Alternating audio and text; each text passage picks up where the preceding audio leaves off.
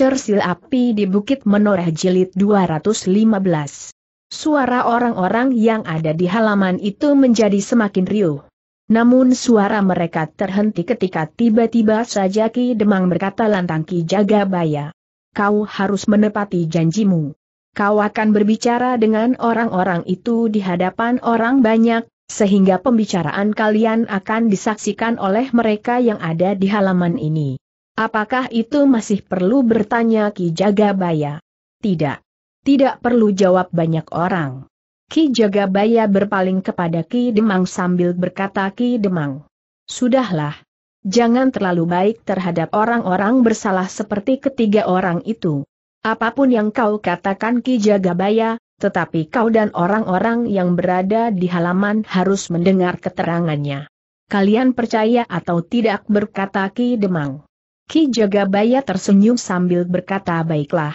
Sekarang aku akan memberi kesempatan salah seorang di antara mereka berbicara atas nama Ki Demang, meskipun kita semua yang ada di sini yakin, bahwa itu tidak berarti apa-apa. Beberapa orang menyatakan kekecewaannya. Seorang di antaranya berteriak tidak perlu. Berikan kepada kami. Biarlah jawab Ki Jagabaya kita wajib menghormati pemimpin kita. Lalu katanya kepada ketiga orang itu nah, siapakah yang akan berbicara? Sebelum Kiai Gringsing sempat membuka mulutnya, Sabung Sari telah menyahut aku yang akan berbicara mewakili ketiga orang yang telah kalian tuduh mencuri kambing. Berbicaralah. Aku memberi kesempatan beberapa saat saja desis Ki Jagabaya. Sabung Sari seakan-akan tidak mendengar kata-kata Ki Jagabaya itu. Dengan menghadap kepada orang banyak tanpa menundukkan wajah, ia berkata lantang kisana. Apa dasarnya kalian menuduh kami mencuri? Apakah karena kami berjalan di pinggir hutan itu? Kenapa kalian tidak menuduh orang-orang pertama kali menemukan bekas-bekas penyembelihan itu? Karena orang itu tentu juga telah sampai ke tempat itu. Ketahuilah, kami baru saja datang dari perjalanan yang panjang. Kami adalah pengembara yang memang tidak mempunyai tempat tinggal. Tetapi kami bukan pencuri. Kami mendapat makan dan minum dengan cara yang wajar, karena sekali-sekali kami berhenti dan bekerja di satu tempat. Setelah kami dapat mengumpulkan uang, maka kami melanjutkan pengembaraan kami. Tetapi di sepanjang hidup kami, kami tidak pernah mencuri. Bohong, bohong hampir berbareng beberapa orang telah berteriak. Wajah Sabung Sari berkerut. Ia terkejut mendengar kata-katanya sendiri, bahwa sepanjang umurnya ia tidak pernah mencuri. Namun tiba-tiba saja terbayang masa-masa kelamnya ketika masih sangat muda, bahkan mendendam dan berusaha untuk membunuh Agung Sedayu. Pada saat-saat itu, meskipun mungkin ia tidak mencuri, tetapi banyak tindakan tercela pernah dilakukannya. Untunglah bahwa Agung Sedayu kemudian berhasil menundukkannya, dan mendorongnya berjalan di jalan yang lurus. Sabung Sari tersadar dari angan-angannya yang menerawang kembali ke masa lampaunya ketika Ki Jagabaya berkata kau dengar pendapat orang banyak itu. Sabung Sari mengerutkan keningnya. Lalu katanya kami sama sekali tidak memerlukan seekor kambing. Apalagi dua di antara kami adalah orang-orang tua, yang barangkali sudah tidak dapat lagi makan daging kambing panggang, betapapun mudanya kambing itu. Itu bukan alasan berkata seorang yang bertubuh tinggi tegap tentu ada sepuluh atau lebih kawan-kawanmu. Nah, jika demikian, kalian harus mengaku, di mana kawan-kawanmu itu. Ya, peras keterangannya. Ia harus mengaku teriak yang lain. Nah, Bukankah sebaliknya berkata Ki Jagabaya yang terjadi justru lebih memberatkannya? Orang-orang itu harus mengaku, di mana kawan-kawannya. Wajah Ki Demang menjadi tegang. Tetapi ia tidak dapat berkata apa-apa ketika terdengar orang-orang di halaman itu berteriak-teriak paksa mereka mengaku. Paksa mereka dengan kekerasan. Ki Jagabaya pun tersenyum sambil berkata kita ikat mereka pada tonggak-tonggak itu. Kita akan mencambuknya teriak seorang yang kepalanya botak. Tetapi yang lain berteriak hukum picis. Sabung Sari menjadi merah padam. Namun Kiai Gring Titik Sing berkata biarlah mereka mengikat kita. satu cara untuk menunjukkan kepada mereka tentang sesuatu yang tidak mereka mengerti. Sabung Sari menggeretakkan giginya. Tetapi ia tidak dapat membantahnya meskipun ia berkata kepada dirinya sendiri celaka jika harus menurut sikap orang-orang tua. Tetapi Sabung Sari tidak melawan ketika beberapa orang kemudian ternyata memang menyeretnya. Demikian juga Kiai Gringsing dan Ki Jaya Raga. Mereka telah diikat pada batang-batang pohon kelapa yang berjajar di halaman. Sebuah tali yang dibuat dari sabut kelapa telah melilit di pergelangan tangan mereka, bahkan di perut mereka. Ki Jagabaya tertawa berkepanjangan. Katanya di sela-sela derai tertawanya nah, mengaku sajalah. Di mana kawan-kawanmu? Tidak seorang pun yang menjawab, sehingga Ki Jagabaya harus mengulangi di mana kawan-kawanmu hi. Ketiga orang itu masih belum menjawab. Sementara itu Ki Jagabaya menjadi semakin marah. Kemudian katanya kepada dua orang pembantunya hadapi yang dua orang itu satu-satu. Aku akan memaksa anak muda ini berbicara. Ki Demang menjadi semakin berdebar-debar tetapi ia tidak kuasa mencegah peristiwa yang akan terjadi kemudian. Dua orang pembantu Ki Jagabaya, yang masing-masing bertubuh tinggi kekar dan berdada bidang telah berdiri masing-masing di hadapan Kiai Gringsing dan Jaya Raga. Sementara itu Ki Jagabaya sendiri, yang juga bertubuh tinggi besar, berdada bidang dan berkumis tebal, berdiri di hadapan Sabung Sari. Ia menganggap anak muda itu sebagai orang yang paling bertanggung jawab.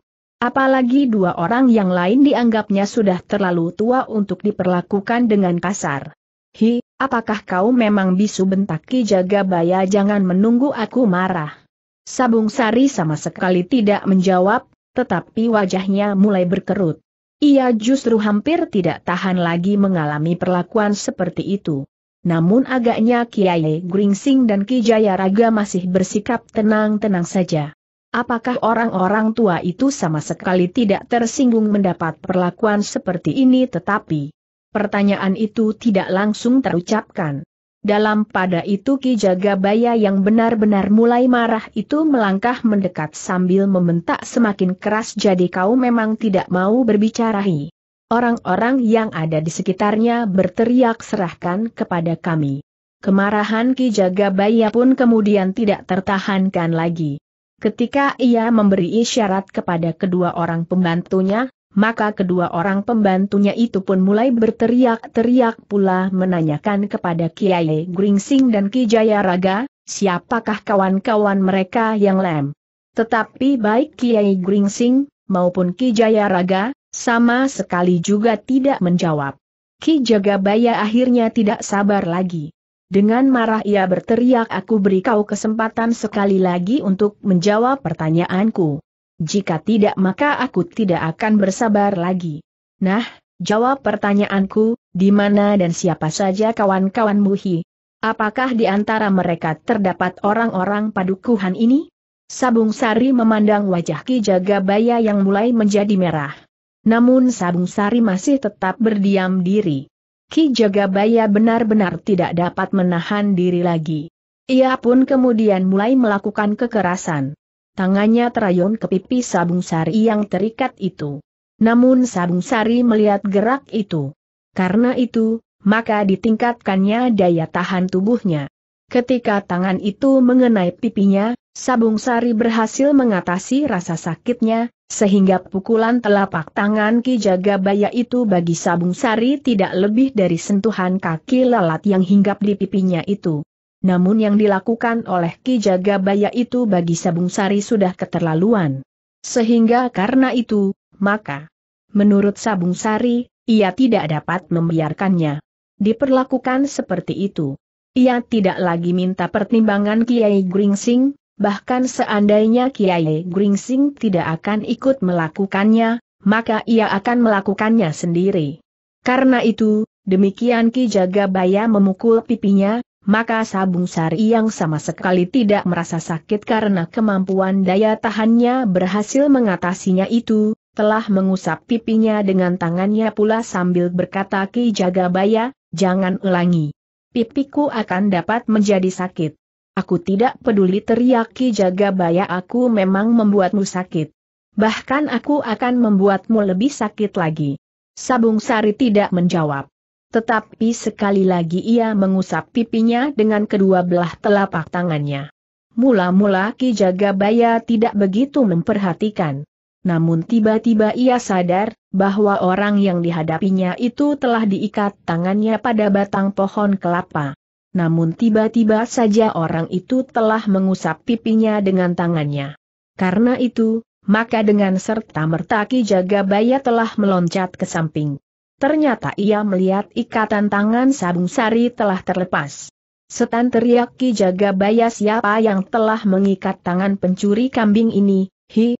Ternyata orang itu terlalu dungu, sehingga talinya terlepas. Beberapa orang telah berloncatan pula.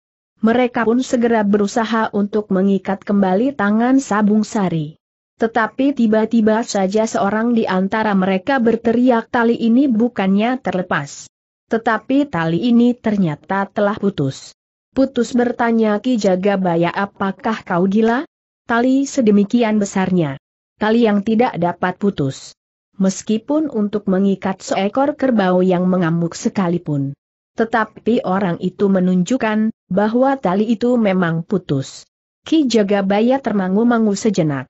Ia tidak dapat ingkar bahwa tali itu memang putus. Bahkan tidak hanya di satu tempat, tetapi tali itu rantas, seakan-akan telah dihentakkan oleh kekuatan raksasa. Beberapa saat Ki Jagabaya merenungi tali yang putus itu. Namun tiba-tiba ia berteriak ambil tali yang lain. Aku ingin melihat, apakah memang orang ini yang telah memutuskan tali itu. Tetapi Sabung Sari yang sudah tidak sabar itu berkata kau tidak perlu ke mana-mana Ki Jagabaya. Untuk membuktikan, bahwa aku mampu memutuskan tali itu. Agaknya dapat dicoba dengan lehermu. Wajah Ki Jagabaya menjadi merah padam. Sementara itu, Sabung Sari telah melangkah selangkah maju sambil mengibaskan tangannya. Namun dengan demikian, maka orang-orang yang ada di sekitarnya pun sudah mulai bergerak. Tetapi Sabung Sari benar-benar telah jemu melihat wajah Ki Jagabaya. Ia benar-benar ingin membuat orang itu jeras seandainya ia ingin melakukan sesuatu atasnya. Dalam pada itu selagi orang-orang itu sibuk memperhatikan Sabung Sari, ternyata di luar dugaan mereka, Kiai Gringsing telah melangkah mendekatinya sambil berkata, Sudahlah, Jangan kau turutkan perasaanmu. Ki Jagabaya tersentak melihat Kiai Gringsing mendekat sambil mengurai tali yang masih melekat di tangannya, membersihkannya dan kemudian mengibaskannya. Teriak Ki Jagabaya pula bagaimana orang ini juga dapat terlepas. Semua orang memandang Kiai Gringsing dengan heran. Sebagaimana mereka melihat Sabung Sari melepaskan ikatannya. Sementara orang-orang itu menjadi terheran-heranan. Ki Jagabaya berteriak lihat yang seorang. Jangan sampai ia melepaskan diri pula. Beberapa orang berpaling ke arah Ki Jayaraga. Beberapa orang itu segera berloncatan. Namun mereka terlambat. Mereka melihat tali di pergelangan tangan Ki Jayaraga tidak saja putus, tetapi rontok menjadi abu. Lihat Ki Jagabaya teriak seseorang. Ki Jagabaya menjadi semakin kebingungan. Tetapi ditinggalkannya Sabung Sari dan Kiai Gringsing untuk melihat ikatan dari yang seorang lagi. Matanya memang terbeliak melihat tali yang menjadi abu dan rontok jatuh di tanah itu. Karena Ki Jayaraga masih belum menarik tangannya yang melekat pada batang pohon kelapa itu, maka Ki Jagabaya pun telah berteriak ambil tali, cepat. Dengan serta-merta Ki Jagabaya telah meloncat menangkap tangan itu agar orang itu tidak meninggalkan tempatnya sebelum tali yang diminta itu datang. Namun demikian ia menangkap tangan Ki Jayaraga, maka Ki Jagabaya telah berteriak di luar sadarnya. Ternyata Ki Jayaraga telah bermain dengan ilmu apinya. Karena itu, maka Ki Jagabaya itu bagaikan telah menangkap bara.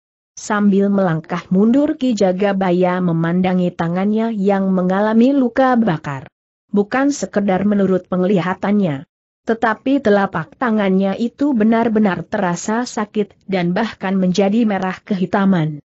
Apakah aku berhadapan dengan anak iblis bertanya Ki Jagabaya dengan wajah tegang. Ki Jayaraga menarik nafas dalam-dalam. Didekatinya Ki Jagabaya yang berdiri termangu-mangu. Dengan nada rendah ia menjawab kau kira anak iblis ada yang setua aku? Ki Jagabaya, sudahlah. Jangan terlalu bernafsu menghukum orang-orang yang tidak bersalah. Meskipun kau anak iblis, tetapi apakah kau akan dapat menghadapi seluruh isi kademangan ini bertanya Ki Jagabaya. Kenapa kau bertanya seperti itu bertanya Ki Jaya Raga apakah aku akan menghadapi seisi kademangan ini? Wajah Ki Jagabaya menjadi tegang. Namun yang menjawab adalah Sabung Sari yang berdiri beberapa langkah daripadanya Ki Jagabaya. Aku sudah jemu dengan sikapmu. Marilah, jika kau memang ingin aku pilin kumismu itu, atau aku harus mencabutinya satu-satu? Bahkan jika kau memaksa orang-orang kademangan ini untuk mengorbankan dirinya, marilah, silahkan maju. Tetapi dengarlah. Seluruh isi kademangan ini tidak akan dapat menangkap aku. Cepat geram sabung sari siapa yang akan mati lebih dahulu.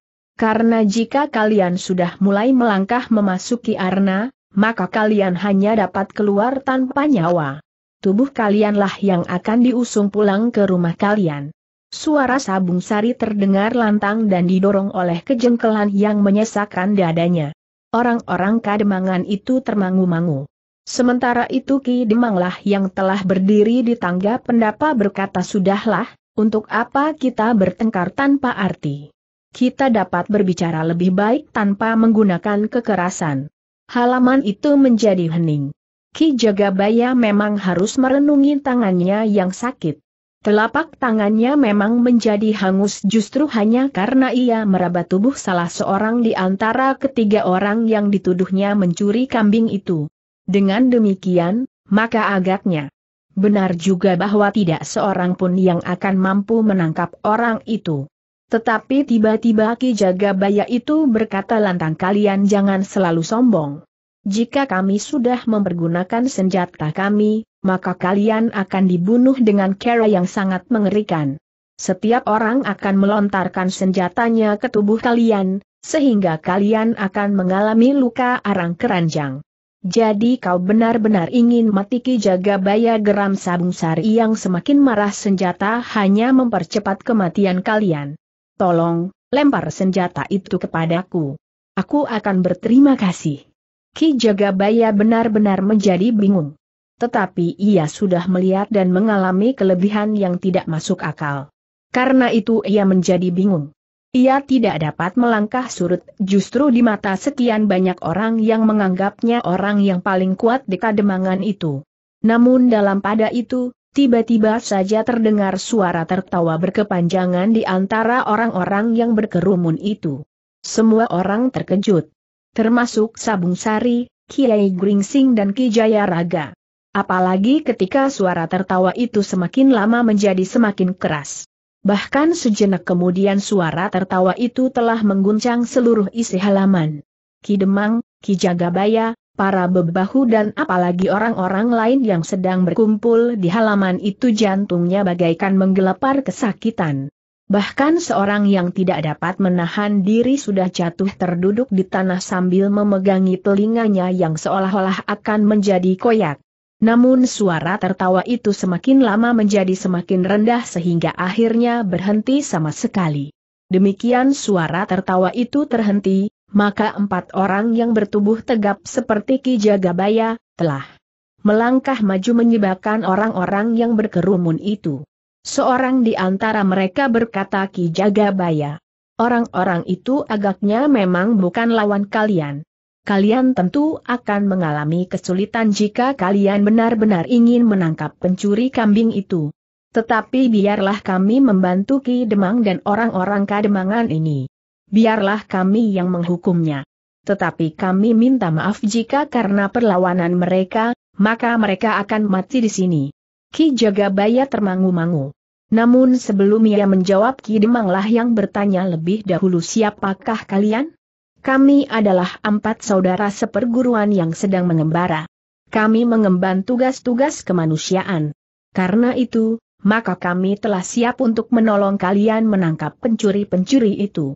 Tetapi jika mereka melawan, maka kemungkinan seperti yang aku katakan itu dapat terjadi.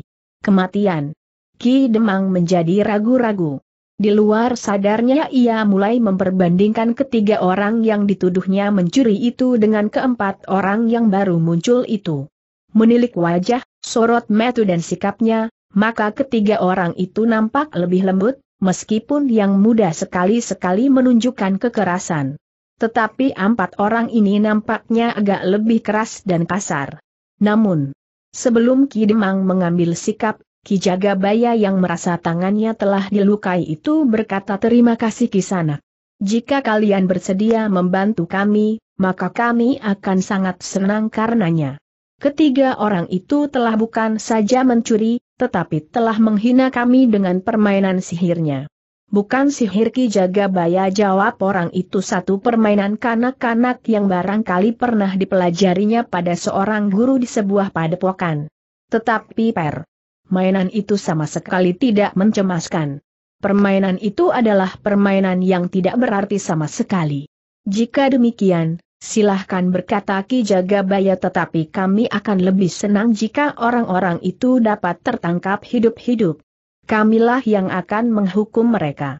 Orang itu tertawa. Katanya kami akan mengusahakannya. Tetapi jika tidak mungkin, biarlah mereka mati di sini Ki Jagabaya tidak menjawab lagi. Tetapi ia sudah pasti, bahwa ketiga orang itu akan dapat ditangkap. Hidup atau mati. Apalagi orang yang telah menghinanya dan telah membakar telapak tangannya itu.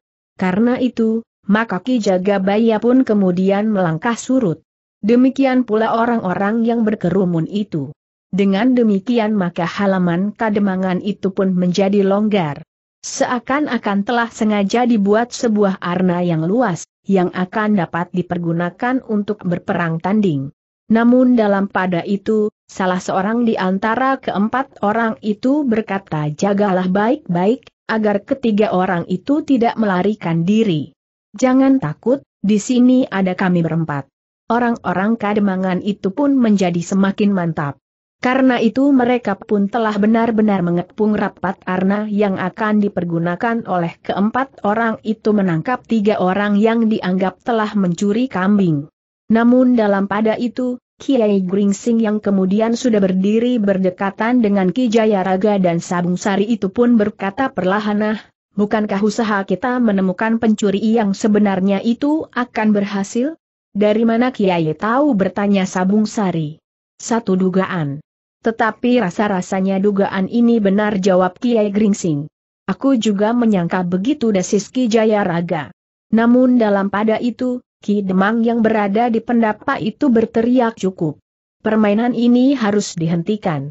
Tetapi seorang di antara keempat orang itu menyahut jangan berteriak-teriak Ki Demang, agar kau tidak ikut aku tangkap sekali. Ki Demang itu pun terdiam. Ia sadar, bahwa keempat orang itu pun tentu orang-orang berilmu tinggi. Suara tertawanya sudah dapat membuat jantungku hampir rontok karenanya. Ki Demang menyesal, bahwa di halaman rumahnya akan terjadi pertarungan orang-orang berilmu tinggi, namun yang tidak jelas ujung dan pangkalnya. Ia pun justru menjadi semakin ragu, apakah ketiga orang itu benar telah mencuri kambing apalagi menilik sikap dari keempat orang yang muncul kemudian itu. Tetapi Ki Demang tidak dapat berbuat apa-apa. Semuanya itu akan terjadi tanpa dapat dicegahnya lagi. Demikianlah keempat orang itu pun telah berada di arna. Namun seorang di antara mereka berkata kepada kawannya kau mengawasi sajalah agar orang-orang itu tidak melarikan diri. Kami akan menangkapnya bertiga saja, karena mereka juga hanya bertiga. Kenapa aku yang harus mengawasi bertanya kawannya itu? Kau adalah orang yang paling muda di antara kami jawab yang lain. Orang itu nampak menjadi kecewa. Dengan nada datar ia berkata seharusnya kalian memberi kesempatan kepadaku. Kalian sudah banyak berbuat sesuatu. Jauh lebih banyak dari aku. Tetapi orang-orang ini nampaknya agak liar berkata saudara seperguruannya itu karena itu kau awasi. Sajalah. Kau lihat bagaimana aku memilih lehernya. Yang termuda di antara keempat saudara seperguruan itu tidak menjawab. Tetapi ia siap untuk mengawasi ketiga orang itu. Jika di antara mereka ada yang berusaha melarikan diri, maka ia harus cepat bertindak. Sabung Sari memang sudah tidak sabar lagi. Tetapi Kiai Gringsing telah menggamitnya. Setiap kali ia harus menahan Sabung Sari agar tidak tergesa-gesa bertindak. Memang lain dengan Agung Sedayu berkata Kiai Gringsing di dalam hatinya. Bagi Kiai Gringsing, Agung Sedayu dapat lebih banyak menyesuaikan diri daripada Sabung Sari. Tetapi Kiai Gringsing pun menyadari, bahwa Sabung Sari adalah seorang prajurit di bawah pimpinan Untara yang mempunyai sifat dan watak yang jauh berbeda dengan Agung Sedayu. Sementara itu, ketiga orang saudara seperguruan itu telah siap menghadapi tiga orang yang oleh Ki Jagabaya telah ditetapkan sebagai tiga orang pencuri kambing. Seorang yang paling tua di antara mereka telah mendekati Ki Jaya Raga. Menurut perhitungan mereka, Ki Jaya Raga memiliki kemampuan yang paling mendebarkan. Ia mampu membakar tali yang mengikat pergelangan tangannya menjadi abu, sementara itu pakaiannya sama sekali tidak terpengaruh karenanya. Dengan demikian maka orang itu mampu mengungkapkan ilmunya sesuai dengan keinginannya. Dengan demikian maka orang tertua di antara keempat saudara seperguruan itulah yang akan menghadapinya. Adapun orang kedua akan berhadapan dengan Kiai Gringsing sementara yang lebih muda lagi akan menghadapi Sabung Sari. Kisanak berkata orang yang tertua di antara mereka berempat kalian telah menjalankan permainan kalian yang tidak seberapa itu di sini. Tentu saja kau berhasil membuat orang padukuhan ini kebingungan. Tetapi untunglah bahwa di sini ada kami. Kalian siapa bertanya Ki Jaya Raga. Kalian tidak perlu mengenal kami lebih banyak dari yang sudah aku katakan. Kami adalah empat orang saudara seperguruan yang sedang mengemban tugas-tugas kemanusiaan. Itu saja jawab yang tertua di antara mereka. Jika demikian kita sama-sama mengemban tugas kemanusiaan jawab Ki Jaya Raga. Oh tiba-tiba orang itu tertawa dengan mencuri kambing kau mengemban tugas-tugas kemanusiaan? Apa artinya seekor kambing kecil dan sakit-sakitan jawab Ki Jaya Raga? Jawaban itu memang mengejutkan. Sabung Sari juga terkejut. Justru karena itu ia tidak segera menyaut. Namun yang terdengar adalah suara saudara tertua di antara keempat orang seperguruan itu kau jangan berbohong. Bukan seekor kambing kecil sakit-sakitan. Tetapi seekor kambing muda yang gemuk. Ki Jaya Raga mengerutkan keningnya. Tiba-tiba ia pun bertanya dari mana kau tahu bahwa kambing itu muda dan gemuk? Orang itu tergagap. Sementara itu Sabung Sari yang tidak sabar lagi telah memotong nah, jika demikian kalianlah pencuri kambing itu. Tentu kalian tidak hanya berempat. Sebut, di mana kawan-kawan Muhi? Gila geram orang itu bagaimana mungkin kau menuduh kami? Aku tidak peduli berkata Sabung Sari kita dapat menuduh siapa saja seperti dilakukan oleh Ki Jagabaya. Apalagi bahwa kau telah dapat menyebutkan, bahwa yang hilang itu seekor kambing muda yang gemuk sabung sari tiba-tiba saja telah berteriak kepada orang-orang yang berkerumun hi, siapa tahu, apakah kambing yang hilang itu kecil sakit-sakitan atau muda dan gemuk? Tiba-tiba saja, seolah-olah di luar sadarnya, orang padukuhan yang tahu wujud kambing yang hilang itu bahkan pemiliknya sendiri juga ada di antara mereka, berteriak kambing itu muda dan gemuk. Sabung Sari menarik nafas dalam-dalam.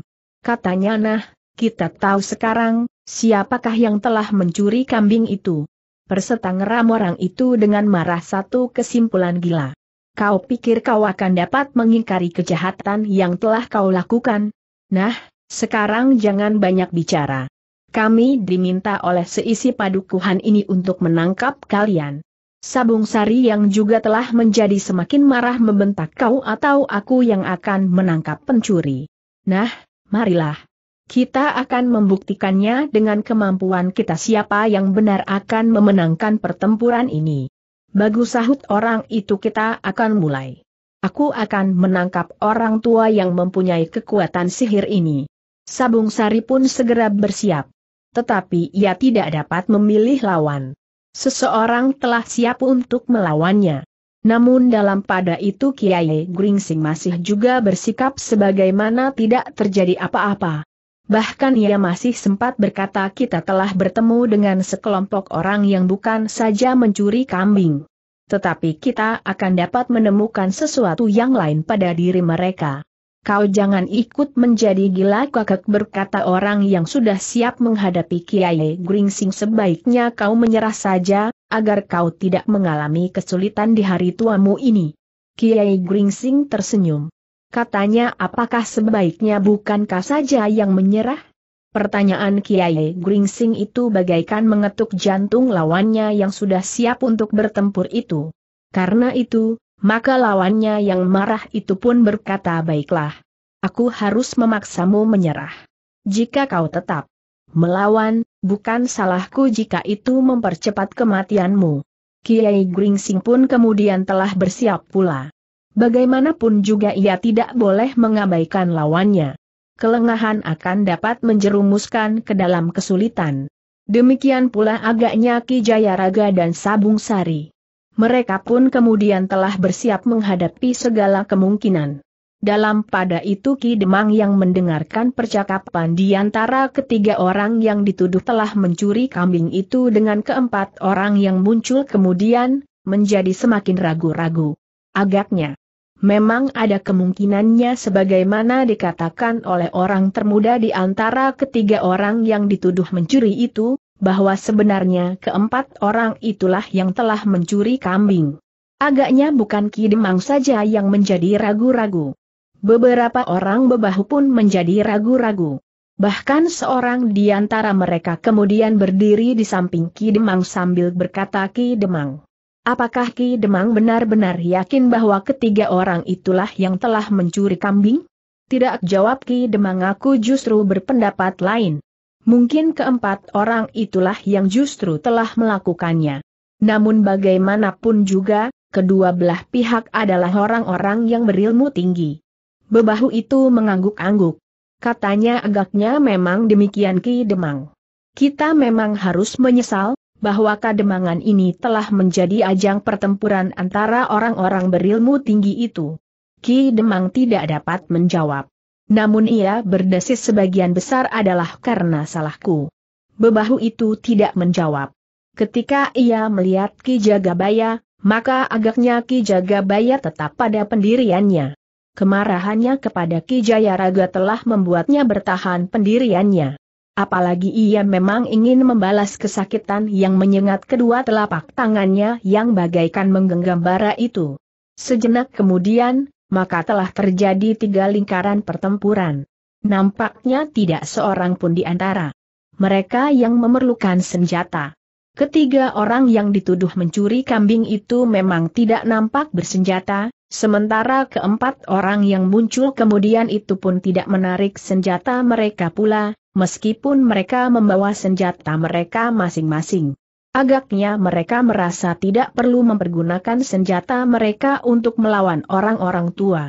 Namun yang menghadapi Sabung Sari pun tidak pula merasa memerlukan senjata. Ketika mereka mulai bertempur, ternyata Sabung Sari masih dapat mengendalikan dirinya, sehingga ia tidak dengan serta-merta mempergunakan kemampuan puncaknya. Kiai Gringsing yang tua itu pun berusaha untuk menjajagi kemampuan ilmunya. Meskipun orang tua itu cukup berhati-hati, ia tidak menganggap lawannya tidak berbahaya. Karena itu, maka Kiai Gringsing telah meningkatkan daya tahannya untuk melindungi dirinya. Yang termangu-mangu kemudian adalah Ki Jaya Raga. Ia sadar bahwa lawannya tentu sudah mengetahui kemampuannya untuk menyadap kekuatan api dengan usahanya membakar tali pengikat tangannya.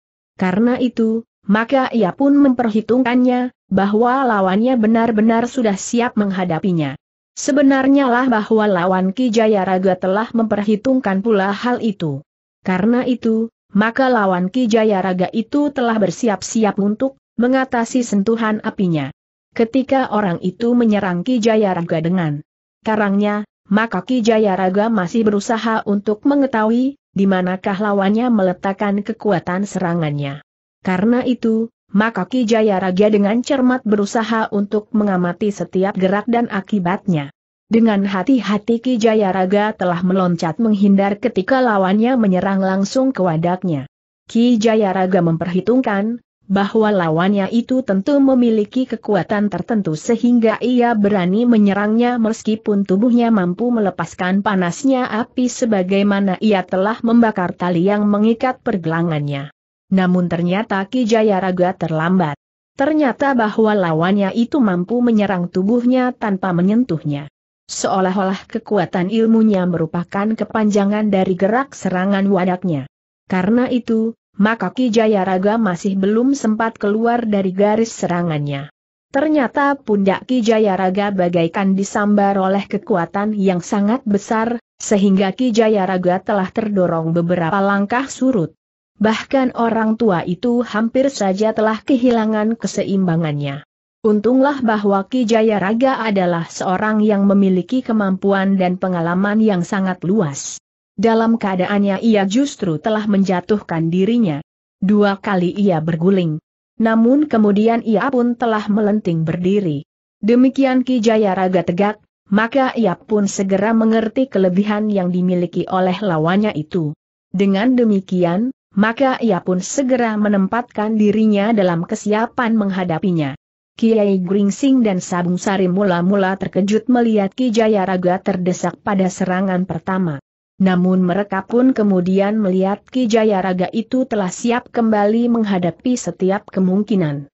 Meskipun Ki Jaya Raga yakin akan kemampuan Sabung Sari, namun ia masih juga ingin memperingatkannya, karena mungkin saja Sabung Sari dibelit oleh kemarahannya sehingga ia tidak segera melihat letak kelebihan lawan. Karena itu, maka setelah ia berdiri tegak dan siap menghadapi lawannya itu, ia berkata bukan main. Masih juga ada ilmu yang dahsyat itu sekarang. Kau mampu melepaskan seranganmu mendahului wujud wadakmu. Hi, di mana? Aku pernah melihat ilmu seperti itu, Kiai Gringsing lah yang menyahut luar biasa. Untunglah Pandan Wangi tidak ikut serta bersama kita. Ki Jayaraga mengangguk-angguk. Pandan Wangi juga memiliki ilmu sejenis dengan ilmu yang dimiliki oleh lawannya itu. Bahkan kelebihan Pandan Wangi, bahwa ketekunannya menempa diri serta menelusuri hubungannya dengan kekuatan alam di sekitarnya telah membawanya memasuki satu bentangan ilmu yang sudah jarang dimiliki oleh seseorang. Dengan beberapa petunjuk dari Kiai Gringsing, maka Pandan Wangi mampu mendalami ilmu seperti yang dimiliki oleh lawan Ki Jayaraga itu, sebagaimana Agung Sedayu juga pernah menghadapi beberapa orang yang memiliki kemampuan seperti itu.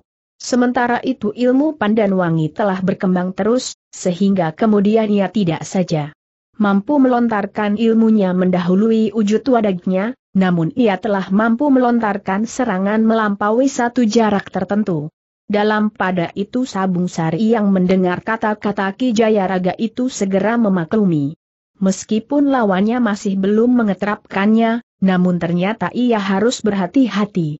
Pada satu saat, jika keadaan memaksanya, maka lawannya itu tentu akan mengeterapkan ilmunya itu, karena keempat orang itu adalah empat orang saudara seperguruan, sehingga mereka agaknya memiliki ilmu yang serupa. Agaknya ilmu seperti itu akan berkembang lagi berkata Sabung Sari di dalam hatinya. Demikianlah, maka pertempuran itu pun segera berkelanjutan. Ki Jayaraga yang telah mengetahui kemampuan ilmu lawannya, telah bertempur dengan sangat berhati-hati. Ia harus dapat memperhitungkan jarak gapai sergapan lawannya, sehingga ia mampu bergerak mendahuluinya agar kekuatan yang mendahului wujud wadah orang itu tidak mengenainya. Persetan kau kakek tua geram orang itu ternyata kau mampu mengenali kekuatan ilmuku. Ki Jayaraga tersenyum. Katanya ilmu yang sebenarnya mulai susut karena tidak mampu lagi mengatasi berbagai kesulitan di medan perang. Tidak lebih dari seorang yang membawa galah karena tangannya tidak sampai menggapai jambu air. Alangkah sombongnya kau kakek tua bentak lawannya yang tiba-tiba saja telah meningkatkan serangannya. Demikian dirasyatnya bagaikan badai yang datang mengguncangkan hutan yang lebat. Tetapi sasaran serangannya adalah Ki Jaya Raga. Karena itu, maka ia sama sekali tidak berhasil mengenainya. Jika serangan pertamanya berhasil melontarkan orang tua itu sehingga ia berguling di tanah, maka serangan-serangan berikutnya hampir tidak berarti sama sekali. Sementara itu Ki Jayaraga sama sekali masih belum membalasnya selain menghindarinya setiap serangan. Yang dilakukan oleh Kiai Gringsing tidak berbeda dengan yang dilakukan oleh Ki Jayaraga. Kiai Gringsing yang mengetahui kemampuan lawannya itu, sempat membuat lawannya menjadi bingung. Kakek yang nampaknya sudah terlalu tua itu, masih mampu bergerak cepat sekali menghindari serangan-serangannya. Bahkan ketika ia sudah sampai ke tingkat ilmunya yang semakin tinggi, orang tua itu sama sekali tidak mengalami kesulitan. Yang tidak bertempur seperti Ki Jayaraga dan Kiai Gringsing adalah Sabung Sari. Sejak ia ditangkap, rasa-rasanya ia sudah tidak dapat menahan diri lagi. Kini kema. Rahannya itu telah tertumpah pada lawannya. Karena itu maka pertempuran di antara Sabung Sari dan lawannya itulah yang nampak menjadi semakin sengit. Sabung Sari tidak hanya sekedar menghindarkan serangan lawannya seperti dilakukan oleh orang-orang tua itu. Tetapi ia pun membalas serangan dengan serangan. Ternyata peringatan Ki Jayaraga sangat berarti bagi Sabung Sari. Ia tidak perlu mengalami kesulitan pada benturan-benturan pertama. Karena itu, maka yang terjadi kemudian adalah pertempuran yang cepat dan keras. Sabung Sari yang sudah mengetahui kekuatan lawan itu, masih bertahan dengan kemampuannya, lah masih menganggap bahwa ia belum perlu melepaskan ilmunya yang paling dahsyat lewat sorot matanya. Keduanya kemudian telah bertempur dengan cepat. Mereka berloncatan saling menyerang dan saling menghindar. Desak-mendesak. Sekali-kali Sabung Sari harus berloncatan surut. Tetapi jika terbuka kesempatan baginya, maka serangannya datang seperti prahara. Menerjang dengan kekuatan yang mendebarkan jantung lawannya.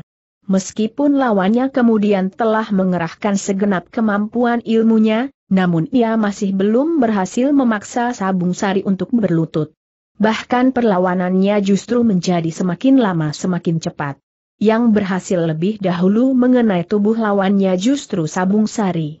Kecepatan geraknya telah menembus pertahanan lawannya, bahkan menembus ilmunya pula. Ketika lawannya gagal menerkam Sabung Sari, maka Sabung Sari yang sudah membuat perhitungan yang cermat, telah meloncat menyamping. Kakinya lah yang telah mengenai lambung lawannya, sehingga lawannya itu terdorong selangkah menyamping. Untunglah bahwa ia masih mampu berdiri tegak di atas kakinya. Namun ia terpaksa meloncat surut untuk memperbaiki keadaannya. Tetapi Sabung Sari tidak banyak memberinya kesempatan. Sesaat kemudian ia pun telah meloncat. Menyerang pula. Tetapi langkahnya tertahan ketika lawannya mengayunkan lengannya. Meskipun jaraknya melampaui jarak panjang tangan lawannya, tetapi Sabung Sari menyadari bahwa lawannya memiliki ilmu yang dapat menjadi kepanjangan wujud wadaknya itu. Namun demikian tangan itu terayun tanpa mengenai sasarannya Sabung Sari telah meloncat pula. Demikian cepatnya, sehingga ketika kakinya terjulur, hampir saja untuk kedua kalinya orang itu dapat dikenainya. Tetapi dengan tangkasnya lawan Sabung Sari itu berhasil bergeser menyamping. Bahkan ia sempat mengayunkan tangannya pula. Demikian cepatnya, sehingga Sabung Sari tidak sempat menghindar. Selisih perhitungan sejengkal, telah membuat Sabung Sari terdorong dengan kerasnya. Meskipun wujud wadak lawannya tidak mengenainya, tetapi rasa-rasanya tengkuk Sabung Sari telah dihantam dengan segumpal batu padas. Hampir saja Sabung Sari jatuh terjerembab tanpa terkekang. Namun pengalaman dan kemampuannya telah dapat mengatasi kesulitan itu sehingga Sabung Sari tidak terbanting jatuh. Tetapi ia mampu jatuh pada keadaan yang mapan. Dua kali ia berguling. Kemudian dengan sigapnya ia melenting tegak. Meskipun pada saat yang bersamaan serangan berikutnya telah memburunya, tetapi Sabung Sari sempat menghindar.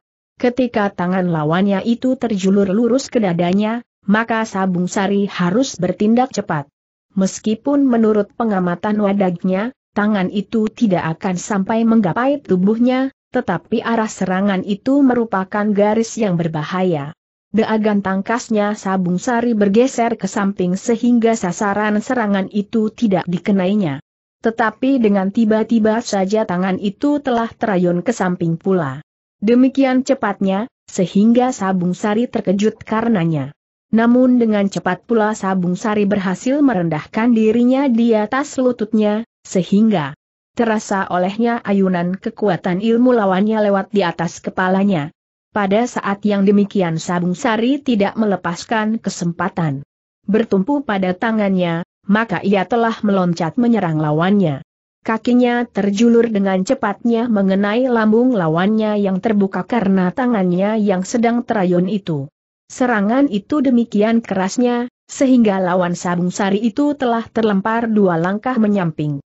Meskipun orang itu jatuh di atas kakinya, tetapi hampir saja ia kehilangan keseimbangannya. Dengan susah payah ia berusaha untuk tidak jatuh terlentang. Meskipun ia berhasil, namun demikian cepatnya pula serangan Sabung Sari menyusulnya. Lawannya yang melihat serangan itu, agaknya tidak sempat mengambil sikap. Dengan demikian maka ia pun justru telah menjatuhkan dirinya. Sabung Sari memang tidak dapat mengenai tubuh lawannya. Dengan sigap ia pun tegak kembali untuk membuat ancang-ancang baru. Tetapi tiba-tiba saja sambil masih berbaring di tanah, ia pun telah menyapu kaki Sabung Sari. Sekali lagi Sabung Sari salah hitung. Jaraknya memang cukup jauh dari orang itu, namun ilmu orang itulah yang telah mengenai kaki Sabung Sari. Demikian kerasnya, sehingga kaki Sabung Sari itu telah terpental. Sabung Sarilah yang kemudian jatuh terbanting di tanah. Memang agak keras. Meskipun perasaan sakit menyengat punggungnya, namun Sabung Sari sempat meloncat bangkit dan berdiri tegak mendahului lawannya. Karena itu, dengan kemarahan yang menghentak-hentak di dadanya, ia pun dengan geramnya meloncat maju dengan tangan terjulur lurus. Tepat pada saat lawannya berdiri, maka tangan Sabung Sari itu telah menghantam dadanya. Demikian kerasnya, sehingga terdengar orang itu mengaduh tertahan. Sekali lagi orang itu terlempar dan terjatuh betapapun ia berusaha bertahan. Tetapi ia tidak mau menjadi sasaran serangan yang tidak berkesudahan. Ternyata bahwa lawannya mampu bergerak cepat sekali, melampaui kecepatan geraknya sendiri. Karena itu, maka orang itu pun merambah kepada kekuatannya yang lain. Dengan ilmunya ia merasa tidak mampu menundukkan lawannya, bahkan sekali-sekali dirinya sendirilah yang harus berloncatan surut. Dengan demikian, maka orang itu pun telah memungut satu di antara senjata-senjata kecilnya yang terselip pada ikat pinggangnya. Sabung Sari yang telah bersiaga sepenuhnya sempat melihat tangan orang itu telah mencabut pisau-pisau kecil yang merupakan senjata khususnya di samping senjata yang ada di lambungnya. Sabung Sari yang siap meloncat menyerang telah tertegun. Dengan pengamatannya yang tajam, maka ia pun telah melihat tangan lawannya itu bergerak. Dengan cepat pula tangan itu terayun. Kemudian berkilat pula lah sebilah pisau kecil yang meluncur dengan kecepatan yang sangat tinggi menyambar dada Sabung Sari. Dengan cepat pula Sabung Sari meloncat ke samping. Menurut pengertiannya, ilmu lawannya tidak berlaku pada senjata yang dilontarkan, sehingga sentuhan ujung pisau itu sendirilah yang akan dapat melukainya. Tanpa kekuatan ilmu yang mendahuluinya. Meskipun demikian Sabung Sari tidak mau mengalami kesulitan karena kelengahannya. Karena itulah, maka ia harus berusaha menghindar secepat dapat dilakukannya. Namun lawannya benar-benar memiliki kemampuan untuk bermain dengan pisau-pisaunya. Meskipun pisau itu tidak menyambarnya susul menyusul, namun serangan itu merupakan serangan yang sangat berbahaya. Justru karena lawannya itu berlaku tenang setelah pisau kecil itu berada di tangannya. Dengan wajah yang penuh kebencian orang. Itu sempat memidik sasarannya dengan cermat. Sabung Sari pun mempersiapkan diri sebaik-baiknya.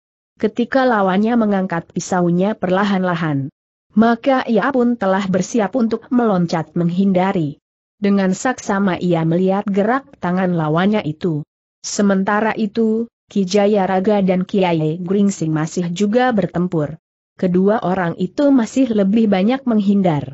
Tetapi jika lawannya selalu mendesaknya, maka sekali-sekali orang-orang tua itu pun menyerang juga, agar lawannya tidak bergeser maju terus. Bahkan lawan Ki Jaya Raga kadang-kadang menjadi bingung. Tanpa diketahuinya, apa yang telah dilakukan lawannya, tiba-tiba saja menyusup di antara ayunan ilmunya, dorongan kekuatan yang luar biasa besarnya sehingga orang itu telah terdording tidak hanya satu dua langkah. Tetapi bahkan beberapa langkah. Tangan orang tua itu tidak menyakitinya. Hanya mendorongnya. Apa maunya orang tua itu geram lawannya di dalam hatinya. Demikian pula Kiai Gringsing. Ia memang tidak berusaha untuk menundukkan lawannya dengan mematahkan tangannya atau memilin lehernya tetapi dibiarkannya lawannya mengerahkan segenap tenaganya. Ki Demang yang menyaksikan pertempuran itu menjadi bingung. Ia melihat kedua orang tua itu seakan-akan memang tidak bersungguh-sungguh. Sekali-sekali bahkan ia melihat orang-orang tua itu tersenyum, meskipun sambil berloncatan menghindar. Sementara itu Ki Demang melihat Sabung Sari dan lawannya telah bertempur dengan sengitnya. Keduanya telah bergerak dengan cepat berloncatan dan saling menyerang. Keduanya telah mengalami hentakan pukulan lawannya dan terlempar beberapa langkah surut. Bahkan terbanting jatuh di tanah, berguling dan melenting tegak kembali. Ketika Ki Jaya Raga kemudian mendorong lawannya dengan keras, maka lawannya itu pun telah kehilangan keseimbangannya dan jatuh terlentang. Namun Ki Jaya Raga sama sekali tidak memburunya. Dibiarkannya lawannya itu dengan cepat bangkit berdiri, sementara Ki Jaya Raga berdiri saja mengawasinya sambil tersenyum. Marilah kisana katanya bangkitlah. Kita mempunyai banyak waktu untuk bermain-main. Lawannya menjadi semakin marah mendengar kata-kata orang tua itu. Namun bagaimanapun juga, ia merasa bahwa ia telah mengalami kesulitan. Karena itu, maka orang itu pun telah menarik senjatanya untuk menghadapi Ki Jaya Raga. Karena orang itu yakin akan ilmunya, maka senjatanya yang terselip di pinggangnya bukan sebuah golok yang besar dan panjang. Tetapi sepasang pedang kecil atau dapat juga disebut belati panjang. Dalam kemampuan ilmunya, maka belati itu seakan-akan telah berubah menjadi sebilah pedang yang panjang. Ki Jayaraga tertegun melihat sepasang pedang pendek di tangan lawannya. Bahkan hampir bersamaan maka lawan Kiai Gringsing pun telah menggenggam belati pula. Namun kedua orang tua itu pun melihat, bahwa lawan Sabung Sari tidak menarik belatinya yang tergantung di lambung. Tetapi ia telah mempergunakan pisau-pisau kecil sekali yang dapat dilontarkan ke arah lawannya dari jarak yang agak jauh. Ki Jaya Raga yang tidak berniat melawannya dengan senjata apa pun juga itu terpaksa mengerutkan keningnya, ketika ia melihat Kiai Gringsing justru telah mengurai cambuknya. Buat apa Kiai bertanya Ki Jaya Raga? Pedang-pedang kecil itu bentuknya sangat menarik berkata Kiai Gringsing. Ki Jaya Raga menarik nafas dalam-dalam. Tentu Kiai Gringsing mempunyai maksud tertentu dengan cambuknya itu. Dalam pada itu, lawan Sabung Sari telah melontarkan pisaunya pula setelah ia bergeser beberapa langkah sambil membidik.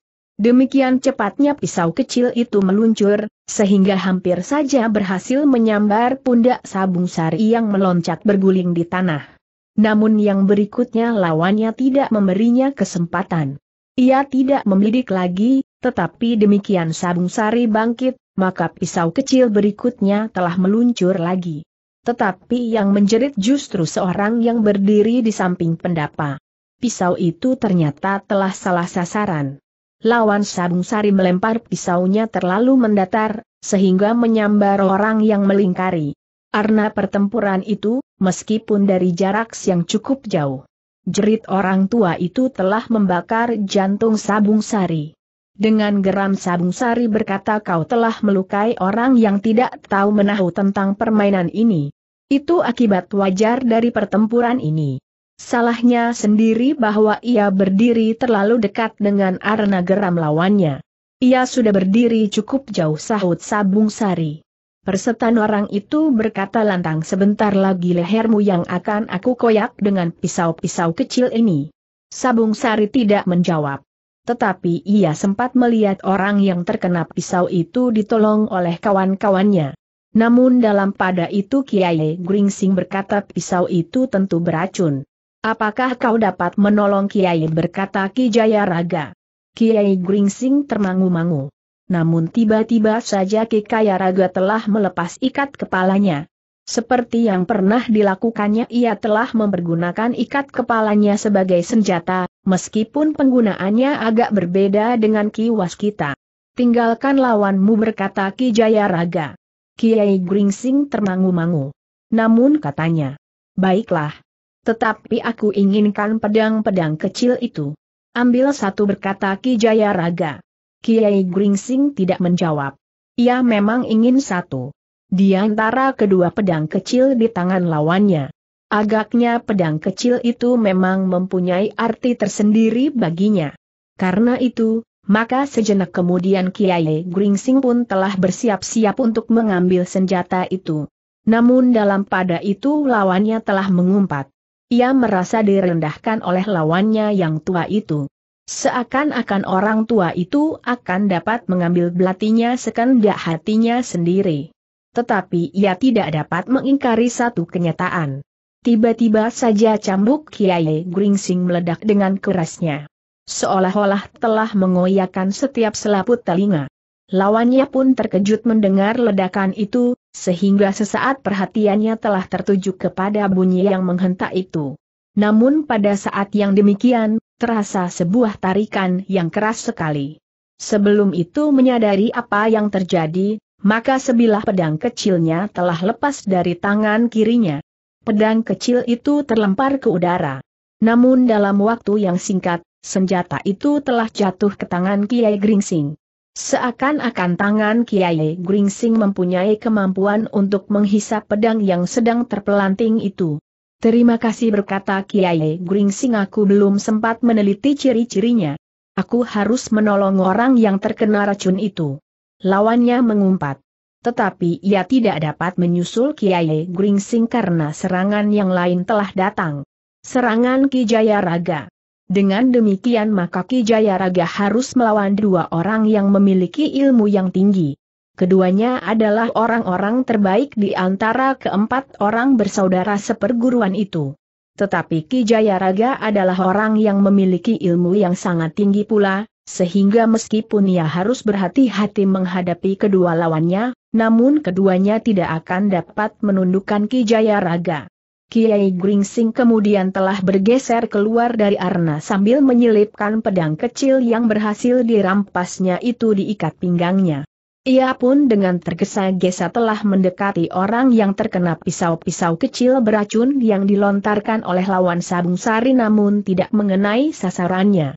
Tetapi Kiai Gringsing tertegun ketika seorang di antara keempat orang itu telah mencegatnya. Saudara seperguruan yang termuda di antara keempat orang itu. Kau akan melarikan diri bertanya orang itu. Tidak jawab Kiai Gringsing orang yang terkena pisau kecil beracun itu memerlukan pengobatan. Jika tidak, maka ia akan mati. Kau tidak usah mempedulikannya geram orang itu mati atau tidak itu bukan urusanmu. Jangan begitu bengis kisanak. Jika kau ingin bertempur nanti kita akan bertempur. Tetapi biarlah aku mengobati orang itu lebih dahulu. Tetapi orang itu tidak mau juga bergeser. Bahkan tiba-tiba saja ia sudah siap untuk bertempur. Kiai Gringsing yang menjadi cemas karena orang yang terkena racun itu benar-benar akan dapat meninggal, tidak mau membuang waktu terlalu banyak. Karena itu ketika orang itu menyerangnya, maka dengan tangkasnya ia mengelak. Kiai Gringsing tidak memukul orang itu pada tengkuknya. Tetapi dengan jari-jarinya Kiai Gringsing telah mengetuk punggung orang itu sebelah menyebelah tulang belakangnya. Ternyata bahwa orang itu tidak mampu melawan Kiai Gringsing dalam dua loncatan. Demikian punggungnya tersentuh jari-jari Kiai Gringsing, maka seluruh tubuhnya rasa-rasanya bagaikan bergetar. Urat-uratnya menjadi lemah dan tidak berdaya, sehingga otot-ototnya pun tidak lagi mampu menyangga tubuhnya yang tegak. Sejenak kemudian orang itu pun telah terjatuh lemas. Kiai Gringsing segera meninggalkannya. Ia pun bergegas mendekati orang yang terkena pisau beracun itu, dengan cepat pula Kiai Gringsing mengambil obat dari kantong ikat pinggangnya dan kemudian dengan hati-hati menarik pisau yang masih tertancap itu. Sejenak Kiai Gringsing memperhatikannya. Ia melihat perkembangan keadaan orang itu. Kemudian menaburkan obat pada luka yang tidak mengeluarkan darah itu. Tiba-tiba saja orang itu menjerit kesakitan. Namun, ketika ia meronta, maka Kiai Gringsing berdesis jangan biarkan ia bergerak terlalu banyak. Racun itu keras sekali. Setiap gerakan akan mempercepat kesulitan pada tubuhnya. Obatku memang terasa panas seperti api. Tetapi obat itu akan menghisap racun yang telah berada di dalam tubuhnya. Tanpa disadari, orang-orang itu pun telah melakukan sebagaimana dikatakan oleh Kiai Gringsing mereka memegangi kawannya yang terkena pisau itu. Sementara orang itu masih saja berteriak-teriak kesakitan, karena di tempat lukanya, seakan-akan Kiai Gringsing telah menaburkan bara api. Namun sejenak kemudian, di luka itu nampak titik-titik darah mulai mengembun. Kemudian sedikit demi sedikit, darah yang berwarna kebiru-biruan mulai mengalir. Mudah-mudahan berhasil berkata Kiai Gringsing. Ketika darah mulai keluar dari luka dan menjadi semakin merah, maka rasa-rasanya panas di luka itu pun telah menjadi susut. Namun pada saat itu kemarahan lawan Sabung Sari pun telah sampai ke puncak. Apalagi ketika ia melihat saudara seperguruannya yang muda itu telah dilumpuhkan oleh kakek tua yang kemudian telah mengobati luka orang yang terkena pisaunya, maka kemarahannya benar-benar telah membakar kepalanya. Dengan demikian maka tidak ada niat lain yang menyumbat dilihatnya selain membunuh orang termuda di antara ketiga orang yang oleh orang-orang padukuhan itu telah dipastikan sebagai sekelompok pencuri. Karena itu, maka serangannya pun menjadi semakin deras. Lontaran-lontaran pisaunya menjadi semakin sering. Namun bukan berarti bahwa orang itu tidak membidik sasarannya dengan baik. Itulah sebabnya maka Sabung Sari mulai mengalami kesulitan. Ia harus berloncatan kian kemari, berguling, melenting dan meloncat lagi. Karena itulah, maka Sabung Sari pun telah sampai pula pada batas pengekangan diri. Ia tidak lagi menghiraukan apa pun juga. Lebih baik menghancurkan lawannya daripada dirinya sendiri yang dihancurkan. Pangeran perang itu berlaku dan berlaku terus dalam peperangan. Itulah sebabnya, maka ketika sebuah pisau kecil dengan arah yang lurus menuju ke jantungnya, Sabung Sari telah meloncat dan langsung berguling beberapa kali. Bukan saja untuk menghindari serangan itu, tetapi ia memang berusaha untuk mengambil jarak dan kesempatan. Lawannya yang melihat Sabung Sari berguling-guling menjauhinya tertegun sejenak. Namun tiba-tiba saja ia tertawa katanya nah kau telah kehilangan semua kesempatan.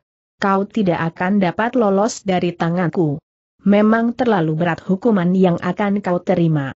Kau hanya bersalah mencuri seekor kambing. Tetapi kau harus mati di halaman kademangan ini, karena justru kau telah mengelakan diri dari tanggung jawab.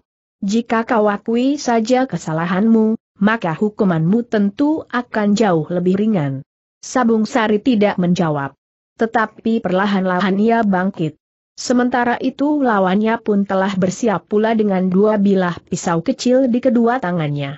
Dengan nada tinggi ia berkata satu di antara kedua pisau ini akan mengakhiri perlawananmu. Selangkah demi selangkah orang itu mendekat. Ia ingin meyakinkan dirinya untuk benar-benar dapat mengakhiri pertempuran. Karena itu, ia ingin membunuh lawannya dari jarak yang lebih dekat. Namun dalam pada itu Sabung Sari berkata dengan suara berat sudah cukup kisana. Jangan maju lagi. Jika kau berdiri terlalu dekat dari aku, maka tubuhmu tentu akan hancur tanpa bekas. Orang itu memang berhenti. Sejenak ia mengerutkan dahinya. Namun ia pun kemudian justru bertanya kenapa aku kau hentikan? Agaknya kau benar-benar menjadi ketakutan. Tetapi sayang, aku sudah mengambil keputusan, bahwa kau memang harus mati. Karena itu, jangan menyesal. Semuanya sudah terlambat. Tetapi ketika orang itu melangkah maju, terjadilah sesuatu yang sangat mengejutkannya. Dari kedua mata sabung sari seakan-akan telah meluncur sepasang cahaya yang memancar dan menghantam tanah sedepa di hadapan lawan sabung sari itu, sehingga tanah itu bagaikan meledak. Orang itu terkejut bukan kepalang. Dengan serta-merta ia telah meloncat surut selangkah. Nah berkata sabung sari kemudian jika kau masih akan maju lagi, maka tubuhmulah yang akan hancur. Sejenak orang itu berdiri tegak dengan dada yang berdebaran. Namun ia tidak boleh ingkar akan kenyataan. Itu. Ternyata bahwa lawannya itu mampu melepaskan ilmu yang dahsyat sekali. Untuk beberapa saat orang itu berdiri tegak dengan sepasang pisau kecil di kedua tangannya. Ketika ia memandang sekilas orang-orang yang berdiri di sekitarnya, maka dilihatnya, semua mata telah memandang kepadanya, seolah-olah ingin menitipkan harapan, agar ia benar-benar mampu menghukum orang yang dianggap bersalah itu. Aku sudah mendapat kepercayaan dari mereka berkata orang itu di dalam hatinya aku harus dapat memenuhi keinginan mereka. Karena itu, maka ia pun telah bertekad untuk benar-benar membunuh lawannya. Orang itu ingin mempergunakan saat-saat sabung sari tidak siap menghadapi serangannya. Karena itu, maka justru ia tidak menunjukkan sikap untuk menyerang. Ia berdiri saja mematung di tempatnya. Namun kedua tangannya telah memegang pisau-pisau kecil yang akan dapat dipergunakannya untuk membunuh lawannya. Nah berkata Sabung Sari menyerah sajalah.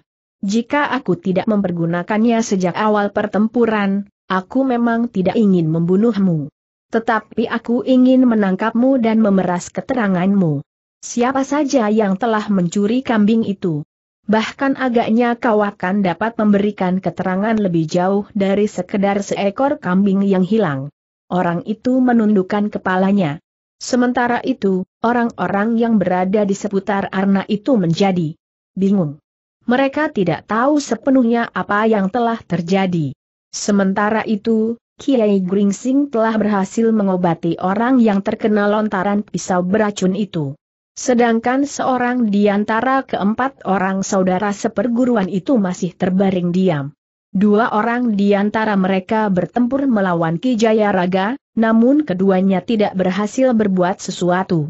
Dalam keadaan yang demikian, maka Sabung Sari telah melangkah setapak maju sambil berkata lepaskan senjatamu.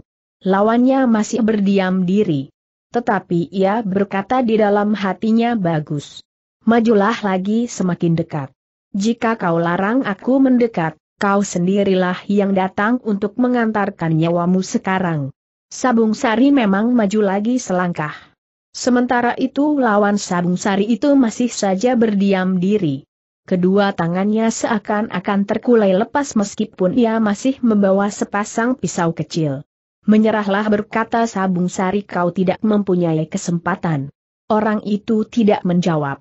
Namun ia memang memperhitungkan bahwa ia akan menyerang dengan tiba-tiba. Ketika Sabung Sari melangkah lagi selangkah mendekat, maka orang itu tidak menunggu lebih lama lagi. Dengan serta-merta ia telah dengan sigapnya melontarkan sepasang pisaunya dengan mengerahkan segenap tenaga dan kekuatannya. Sabung Sari memang terkejut. Meskipun ia masih juga menduga bahwa serangan yang demikian itu dapat saja datang setiap saat, tetapi sambaran kedua pisau yang mengarah ke dadanya itu telah membuat jantungnya bergejolak. Tetapi perbuatan orang itu telah membuat kemarahan di dada Sabung Sari menjadi semakin menyala. Karena itu, maka ketika ia meloncat dan berguling menghindari serangan dua buah pisau kecil itu, ia tidak menahan diri lagi. Apalagi ketika ia melihat orang itu telah mencabut lagi pisau dari sederet pisau di seputar lambungnya yang terselip di ikat pinggangnya. Sabung Sari tidak sempat bangkit berdiri. Namun sambil berlekatan pada tangannya, Sabung Sari telah menyerang orang itu dengan kekuatan ilmunya yang terpancar dari sorot matanya langsung mengarah ke dada lawannya. Pada saat yang demikian, lawan Sabung Sari itu justru sedang mengangkat tangannya siap untuk melontarkan pisaunya. Namun yang terdengar adalah keluh kesakitan yang tertahan. Orang itu terdorong beberapa langkah surut. Namun kemudian tubuhnya itu telah terbanting di tanah. Sekali ia masih menggeliat, namun kemudian ia sama sekali sudah tidak bergerak lagi. Sabung Sari kemudian bangkit berdiri. Dipandanginya tubuh yang terbaring diam itu. Agaknya isi dada orang itu dihancurkan oleh kekuatan ilmu sabung sari itu. Tiga orang saudara seperguruannya sempat menyaksikan apa yang terjadi. Ki Jaya Ragayang bertempur melawan dua orang di antara mereka, seakan-akan sengaja memberi kesempatan kepada mereka untuk menyaksikan apa yang telah terjadi. Sementara seorang yang masih saja tidak berdaya karena sentuhan tangan Kiai Gringsing melihat pula saudara seperguruannya itu terlempar dan jatuh di tanah karena sambaran sinar yang memancar dari sepasang mata lawannya. Bukan main resisnya. Bagaimanapun juga orang itu tidak dapat mengingkari kenyataan. Tubuhnya sendiri tiba-tiba telah kehilangan tenaganya dua orang saudara seperguruannya yang dianggap paling tua dan berada di tataran paling tinggi sama sekali tidak mampu menundukkan satu di antara kedua orang tua itu. Sementara seorang di antara mereka telah dihancurkan oleh lawannya yang paling muda di antara tiga orang yang justru akan ditundukkannya. Bahkan saudara seperguruan itu agaknya memang benar-benar akan membunuh lawannya itu. Namun yang terjadi adalah sebaliknya saudara seperguruannya itulah yang telah terbunuh. Tetapi ia sendiri tidak dapat berbuat apa-apa. Bagaimanapun ia memaksa diri, tetapi ia tetap saja berada di tempatinya. Kematian seorang di antara keempat orang itu telah membuat saudara seperguruannya harus berpikir ulang. Kedua orang yang bertempur melawan Ki Jaya Raga itu pun sudah merasa bahwa orang tua itu memiliki ilmu yang sangat tinggi. Sampai sekian lama mereka bertempur, orang tua itu belum memperlihatkan kemampuannya sebagaimana dilakukan saat ia memutuskan tali yang mengikat tangannya dengan membakarnya menjadi abu. Jika orang tua itu berniat melakukan atas diri mereka, maka agaknya pertempuran itu akan menjadi semakin cepat selesai. Tetapi Ki Jaya Raga memang tidak mempergunakannya ia mempergunakan ikat kepalanya untuk melawan senjata-senjata lawannya. Ia tidak membakar udara di sekitarnya dengan kekuatan api, atau menggoncang lawannya dengan prahara yang dapat disadapnya dari kekuatan udara atau kekuatan lain yang mampu dilontarkannya, tetapi ia masih mempergunakan keterampilan wadaknya untuk mempermainkan ikat kepalanya yang sekali-sekali menyambar, namun kemudian mematuk. Bahkan dengan ikat kepalanya itu ia menangkis ujung-ujung belati panjang yang mengarah ke tubuhnya dengan memegangi dua sudut dari keempat sudut ikat kepalanya itu. Dalam pada itu, orang-orang yang menyaksikan pertempuran itu memang menjadi bingung. Ki Demang menarik nafas dalam-dalam. Tetapi rasa-rasanya dadanya sendirilah yang menjadi sesak melihat sorot mata sabung sari yang meremas isi dada lawannya. Ternyata mereka tidak sekedar menakut-nakuti berkata Ki Demang itu kepada bebahu yang berdiri di sebelahnya orang muda itu memang mengatakan, bahwa seisi kademangan ini tidak akan mampu menangkapnya. Ternyata dari matanya dapat memancar api yang akan dapat membakar seluruh kademangan ini. Bebahu itu mengangguk-angguk. Sementara di halaman Ki Jagabaya menjadi bingung. Bahkan kemudian, Ki Jagabaya itu telah berlari mendapatkan Ki Demang sambil berkata gagap Ki Demang. Apa yang harus kita lakukan? Ki Demang termangu-mangu sejenak, namun kemudian katanya tidak ada. Lalu, bagaimana sikap kita jika orang-orang yang kita tuduh mencuri kambing itu marah kepada kita bertanya Ki Jagabaya pula. Terserah kepada mereka, apa yang akan mereka lakukan kita tidak akan dapat berbuat apa-apa. Setiap perlawanan hanya akan menambah korban saja desis Ki Demang. Ki Jagabaya menjadi pucat. Apalagi ketika kemudian ia melihat Ki Jayaraga tertawa sambil mengibaskan ikat kepalanya.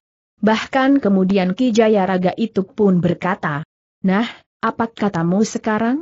jika salah seorang di antara kalian harus bertempur melawan kemenakanku itu, maka kemungkinan sebagaimana terjadi pada saudara seperguruan itu akan terjadi pula atas kalian. Kedua orang yang bertempur melawan Ki Jayaraga itu memang mulai dibayangi oleh kecemasan. Ternyata bahwa orang termuda di antara ketiga orang itu sebenarnya akan mampu membunuh sejak perselisihan itu terjadi. Tetapi ia baru mempergunakannya ketika ia tidak lagi melihat kemungkinan lain. Ki Jagabaya semakin mendekati Ki Demang. Katanya pun menjadi semakin gagap Ki Demang. Berbuatlah sesuatu. Ki Demang tidak sempat berbuat apa-apa.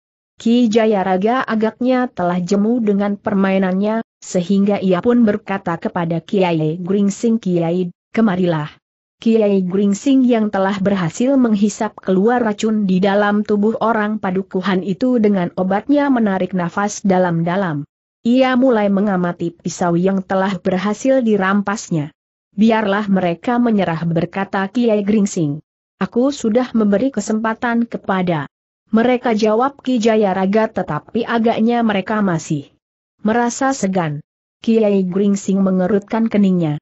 Sementara itu Ki Jaya Raga berkata kepada kedua orang itu cepat, menyerahlah. Tetapi kedua orang lawan Ki Raga yang mulai menjadi cemas itu masih juga bertempur terus. Karena itu, maka Ki Raga pun telah mendesak mereka sambil berkata cepat. Menyerah atau aku akan memaksa kalian. Tidak ada jawaban tetapi Ki Jayaraga memang sudah siap untuk mengakhiri pertempuran. Sementara itu Kiai Gringsing seakan-akan tidak lagi memperhatikan pertempuran itu. Bahkan ia telah memanggil Sabung Sari untuk datang mendekatinya. Kau lihat ciri pada pedang kecil ini bertanya Kiai Gringsing kepada Sabung Sari. Sabung Sari yang masih dicengkam oleh ketegangan karena lawannya yang terbunuh itu memperhatikan sebagaimana ditunjukkan oleh Kiai Gringsing. Pada tangkai pedang kecil yang berhasil dirampasnya itu Kiai Gringsing melihat satu ciri yang agaknya merupakan ciri dari satu perguruan. Justru yang pernah dikenalnya. Kiai pernah mengenalnya bertanya Sabung Sari. Kiai Gringsing termangu-mangu. Namun kemudian, ia pun memandang ke arah Ki Jayaraga yang sedang bertempur dan semakin mendesak lawannya. Bahkan sudut ikat pinggangnya telah mulai menyentuh tubuh lawannya. Ternyata sentuhan satu sudut ikat pinggang itu mampu mememarkan kulitnya sebagaimana dipukul dengan tongkat besi gligen. Yang menjadi gelisah ternyata bukan hanya orang-orang yang telah memusuhi Kiai Gringsing, Ki Jayaraga dan Sabung Sari. Tetapi beberapa orang bebahu dan orang-orang padukuhan itu pun menjadi gelisah pula.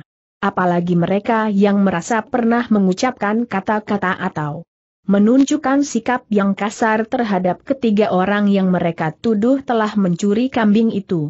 Ternyata persoalan seekor kambing telah merambat menjadi persoalan yang jauh lebih besar. Bahkan seorang telah tewas dalam persoalan yang berkembang itu. Orang-orang padukuhan itu memang sependapat bahwa seisi kademangan itu tidak akan mampu mengalahkan ketiga orang yang mereka anggap sebagai pencuri itu. Terlebih-lebih adalah Ki Jagabaya. Ia merasa bahwa ialah yang telah mengambil keputusan untuk menghukum ketiga orang itu meskipun Ki Demang sudah memperingatkannya.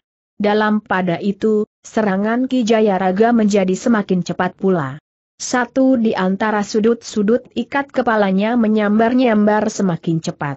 Beberapa kali kedua orang lawannya telah tersentuh senjata yang aneh itu. Bahkan sudut ikat kepala itu rasa-rasanya semakin lama menjadi semakin berbahaya. Aku memberi kesempatan kepada kalian, sekali lagi geram Ki Jaya Raga yang mulai jengkel menyerahlah. Tanda kurang. Keragu-raguan masih mencengkam kepala kedua orang itu apalagi jika mereka melihat orang-orang yang berkerumun. Bagaimanapun juga harga diri mereka akan dirusakkan jika dengan serta-merta harus menyerah. Karena keragu-raguan itulah, maka Ki Jayaraga menjadi semakin tidak sabar. Kiai Gringsing dan Sabung Sari sudah berbicara tentang pedang kecil itu, sementara ia masih harus bertempur sendiri. Karena itu, maka Ki Jayaraga mulai meningkatkan ilmunya. Ketika kemudian sudut ikat kepalanya itu mengenai lawannya lagi, maka ikat kepala itu seakan-akan telah berubah menjadi kepingan, baja yang tajam. Goresan ikat kepala itu ternyata telah mengoyak kulit seorang di antara kedua orang lawannya. Gila geram orang itu sambil meloncat surut. Pundaknya lah yang telah terluka cukup dalam. Dalam pada itu, Kijaya Raga yang menjadi jemu itu telah menyerang lawannya yang seorang pula. Lengannya lah yang menganga karena goresan ikat. Kepala itu. Nah berkata Kijaya Raga jika kalian tidak menyerah, maka aku akan mengoyak tubuh kalian arang keranjang. Ancaman itu bukan sekedar ancaman untuk menakut-nakuti. Karena ancaman itu tidak mendapat tanggapan, maka Ki Jayaraga benar-benar telah bertindak cepat. Dalam waktu yang sangat singkat, maka kedua orang itu benar-benar telah dilukainya lagi. Lebih parah. Karena itu, maka tidak ada pilihan lain bagi keduanya, kecuali melepaskan senjata-senjata mereka sambil berloncatan surut. Ki Jayaraga menarik nafas dalam-dalam. Dengan suara berat ia berkata kenapa kalian menyerah setelah tubuh kalian terluka. Jika sejak semula kalian melepaskan senjata-senjata kalian, maka kalian tidak akan mengalami kesulitan seperti itu. Orang-orang itu tidak menjawab. Namun luka-luka mereka memang terasa pedih, darah yang hangat mengalir tidak habis-habisnya dari luka-luka itu. Dalam pada itu Ki Raga berkata selanjutnya jika kau biarkan saja luka-lukamu itu, maka kau akan menjadi kehabisan darah. Kedua orang itu memang menjadi cemas melihat luka-luka mereka. Selain perasaan sakit yang semakin menggigit, maka darah mereka memang akan dapat habis jika mereka tidak segera sempat mengobatinya. Namun Ki Jayaraga kemudian berkata biarlah Kiai Gringsing menolong kalian. Kedua orang itu tidak menjawab.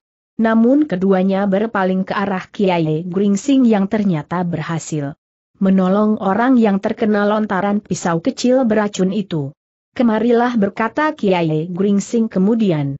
Kedua orang itu memang ragu-ragu. Namun Ki Jayaraga membentaknya mendekatlah, atau kalian ingin mati kehabisan darah. Kedua orang itu bergerak serentak hampir di luar sadar mereka selangkah demi selangkah keduanya mendekati. Kiai Gringsing yang telah mempersiapkan obat bagi mereka. Duduklah berkata Kiai Gringsing. Sejenak kemudian Kiai Gringsing pun telah menaburkan obat pada luka-luka kedua orang itu. Obat yang pada mulanya memang terasa sangat pedih, namun perlahan-lahan obat itu menjadi dingin dan arus darah pun menjadi semakin lambat sehingga setelah keduanya menunggu beberapa saat, maka darah itu pun telah hampir menjadi pampat. Jangan bergerak-gerak dahulu berkata Kiai Gringsing kepada keduanya. Kedua orang itu hanya mengangguk saja tanpa menjawab sepatah pun. Namun ketika tidak dengan sengaja seorang di antara keduanya itu memandang Sabung Sari dan kebetulan Sabung Sari memandanginya pula dengan cepat orang itu menundukkan kepalanya. Duduk sajalah desis Kiai Gringsing sambil beranjak dari tempatnya. Orang tua itu pun kemudian telah menekan beberapa jalur syaraf pada punggung seorang. Di antara orang bersaudara itu, yang telah dibuatnya hampir lumpuh. Bangkitlah berkata Kiai Gringsing. Orang itu merasa bahwa tenaganya seakan-akan telah pulih kembali. Demikian pula kekuatan dan kemampuannya. Namun ia pun kembali. Demikian pula kekuatan dan kemampuannya. Namun ia pun menyadari bahwa semuanya itu tidak akan berarti lagi, tetaplah ia menyaksikan saudara-saudara seperguruannya mengalami peristiwa yang mendebarkan. Bahkan seorang di antara mereka telah terbunuh. Dalam pada itu, Ki Demang masih berdiri di tangga pendapa rumahnya. Sementara Ki Jagabaya menjadi semakin ketakutan.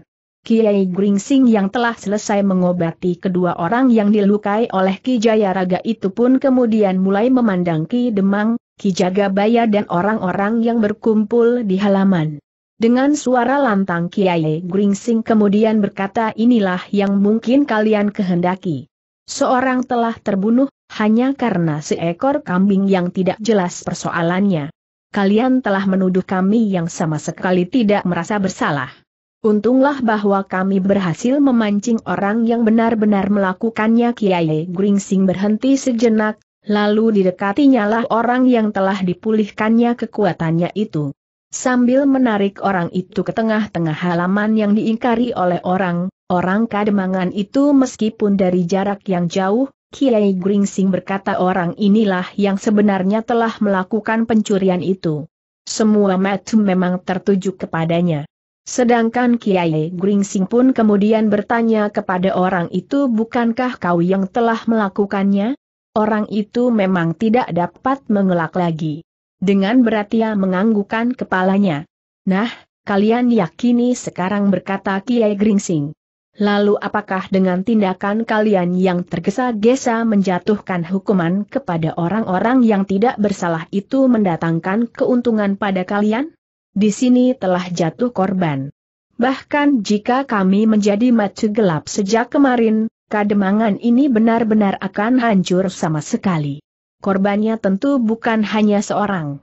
Untunglah bahwa kami masih dapat menahan diri dengan permainan-permainan yang tidak menyenangkan itu. Orang-orang kademangan yang berkerumun itu pun menundukkan kepalanya. Sejenak kemudian Kiai Gringsing telah berkata kepada Ki Demang Nah, Ki Demang. Aku serahkan orang yang terbunuh itu kepada kalian. Sementara itu aku tidak akan dapat membawa ketiga orang ini pula. Karena itu, maka biarlah orang-orang ini kembali ke perguruannya. Jika mereka ingin membuat perhitungan, biarlah mereka membuat perhitungan dengan aku. Ki Demang termangu-mangu. Ada semacam kecemasan yang tergambar di sorot matanya. Namun Kiai Gringsing berkata kepada orang tertua di antara keempat orang itu, katanya aku yakin bahwa perguruanmu masih tetap perguruan jantan, kau tidak akan melepaskan dendam kepada orang-orang kademangan yang tidak bersalah ini, selain sikapnya yang tergesa-gesa dan tidak berimbang nalar. Pertanda yang ada pada pedang-pedang kecil kalian menunjukkan, bahwa kalian termasuk murid-murid dari perguruan yang telah tua. Saudara seperguruan yang tertua itu pun memandang Kiai Gringsing dengan ragu. Ia memang tidak yakin bahwa Kiai Gringsing dapat mengenali ciri-ciri yang terdapat pada pedang mereka. Namun Kiai Gringsing kemudian berkata perguruan kalian adalah perguruan yang pernah mencapai tingkat kejayaan yang tinggi. Kalau aku tidak salah ingat, maka nama perguruan kalian adalah perguruan sapu angin. Tetapi agaknya jenis ilmu yang kalian pergunakan sudah agak berkisar dari jenis ilmu yang pernah aku lihat pada masa kejayaannya dahulu, meskipun jalurnya masih tetap nampak. Tetapi agaknya kematangan ilmu itu telah menjadi mundur. Kalian tidak lagi melontarkan kekuatan angin dari diri kalian. Namun kekuatannya seakan-akan telah diperpendek sehingga tidak lagi mencapai jangkauan lontaran yang panjang, tetapi sekedar mendahului setiap serangan wadaknya. Perkembangan ilmu pada perguruan sapu angin agaknya berkebalikan dengan perkembangan ilmu pandanwangi dari sangkal putung, yang menyadap ilmu tanpa guru. Pandanwangi mulai dari jangkauan yang pendek. Namun ia kini berhasil meraba benda dari jarak yang semakin jauh bahkan menggerakkannya dan pada perkembangannya akan mampu menghancurkannya atau memanfaatkannya sesuai dengan keinginannya. Saudara tertua dari perguruan yang ternyata dikenali oleh Kiai Gringsing itu menarik nafas dalam-dalam. Dengan nada dalam ia berkata kemunduran itu memang pernah kami dengar. Tetapi tidak ada yang dapat berbuat sesuatu. Beberapa usaha memang sudah dilakukan untuk mencapai tataran kemampuan ilmu sebagaimana dimiliki oleh pendahulu kami. Tetapi usaha itu belum berhasil sebagaimana kita harapkan. Kiai Gringsing mengangguk-angguk. Namun ia pun kemudian bertanya siapakah pemimpin perguruan kalian sekarang? Orang itu menjadi ragu-ragu.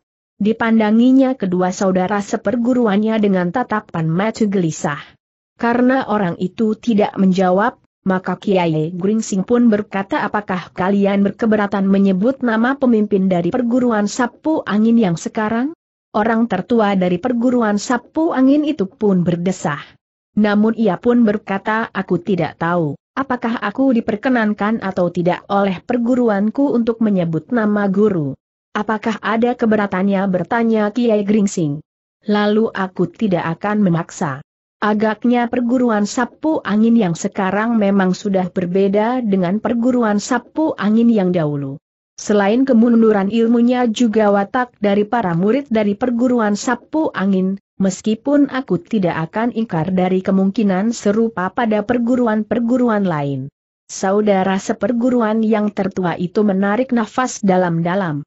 Namun kemudian katanya baiklah. Jika aku menyebutnya, Apakah mungkin Kisana pernah mengenalnya? Aku tidak pasti jawab Kiai Gringsing. Dengan ragu-ragu akhirnya orang itu menyebut pemimpin perguruanku adalah Kiai Damar Murti. Kiai Gringsing mengerutkan keningnya. Ia mencoba mengingatkan. Namun kemudian ia pun menjeleng. Katanya aku tidak pernah mendengar nama itu. Di masa mudanya ia bernama Bagus Parapat jawab murid tertua itu. Kiai Gringsing terkejut mendengar nama itu.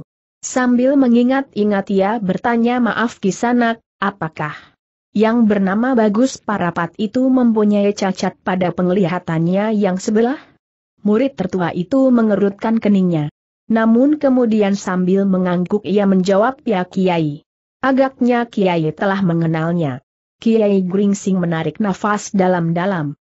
Lalu katanya itulah agaknya. Bagus Parapat bukan murid yang baik bagi perguruan sapu angin.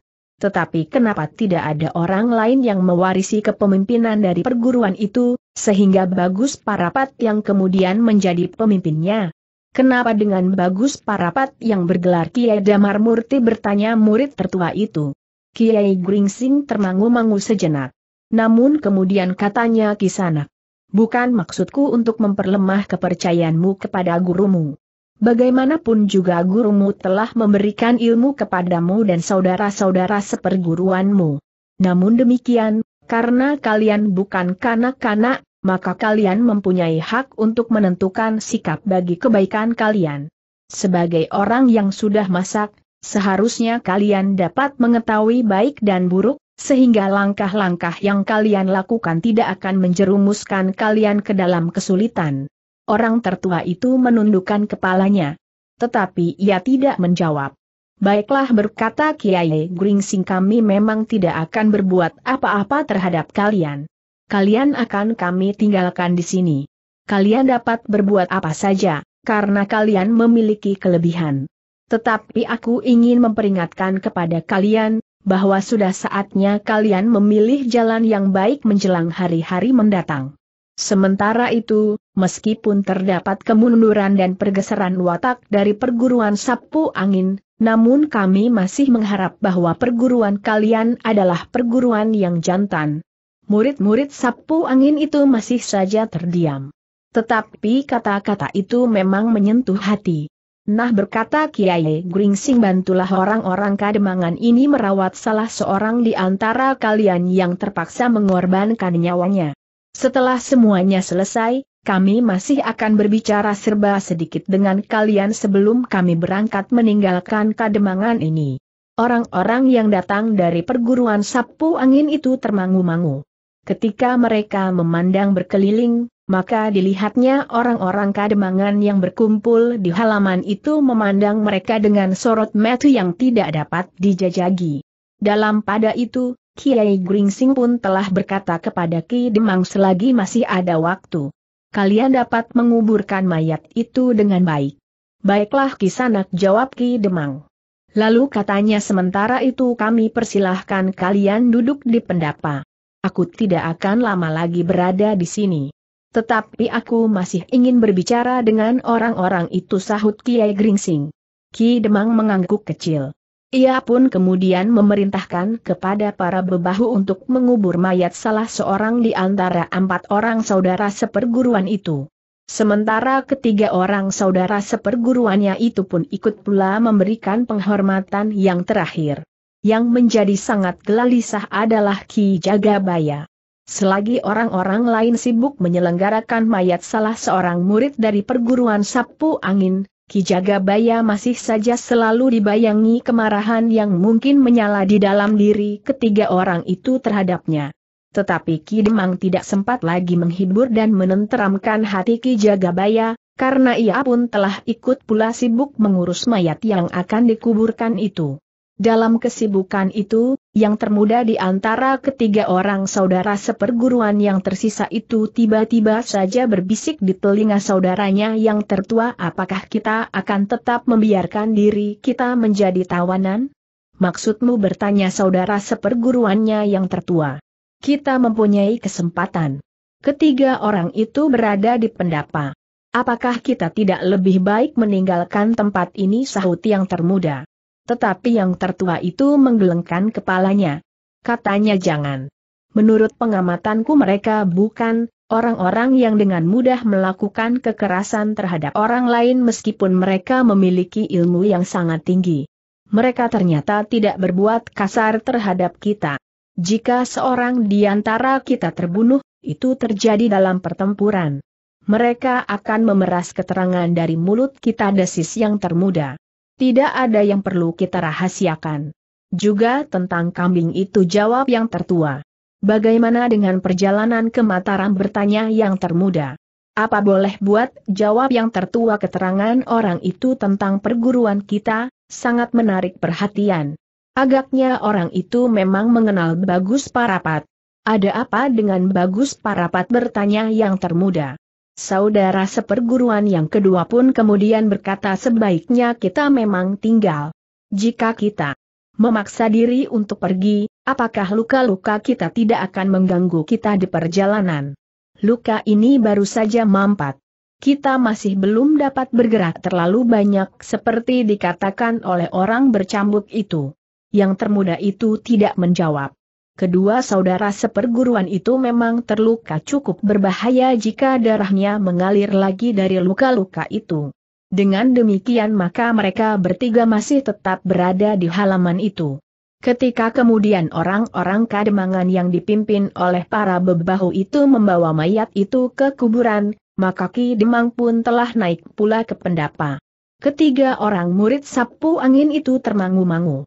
Mereka tidak tahu maksud Kiai Gringsing dan Ki Demang. Apakah mereka harus ikut ke kuburan atau tidak?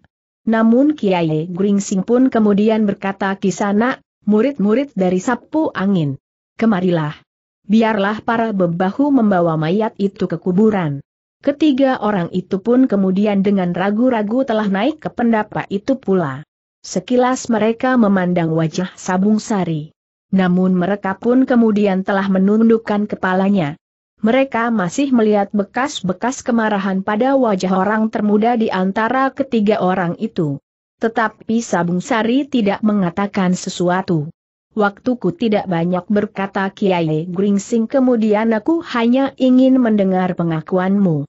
Untuk apa semuanya itu kau lakukan? Aku kira kalian tentu tidak sekedar ingin berbuat kekisruhan. Ketiga orang itu menundukkan kepalanya semakin dalam. Namun yang tertua di antara mereka pun kemudian berkata kami memang mendapat kewajiban untuk menelusuri jalan ke Mataram. Kami tidak tahu apakah maksudnya. Tetapi kami harus mengamati jalur jalan itu. Apakah kalian bekerja sama dengan perguruan-perguruan lain dalam tugas ini bertanya Kiai Gringsing. Orang itu mengerutkan keningnya. Namun kemudian katanya kami memang bekerja sama dengan perguruan lain. Tetapi kerjasama yang baik seakan-akan tidak pernah dapat terwujud. Kami bekerja sendiri-sendiri.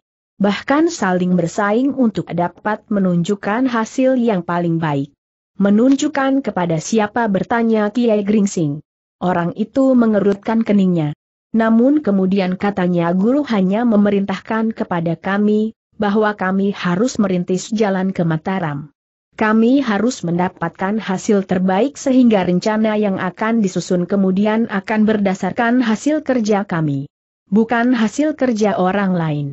Kiai Gringsing termangu-mangu.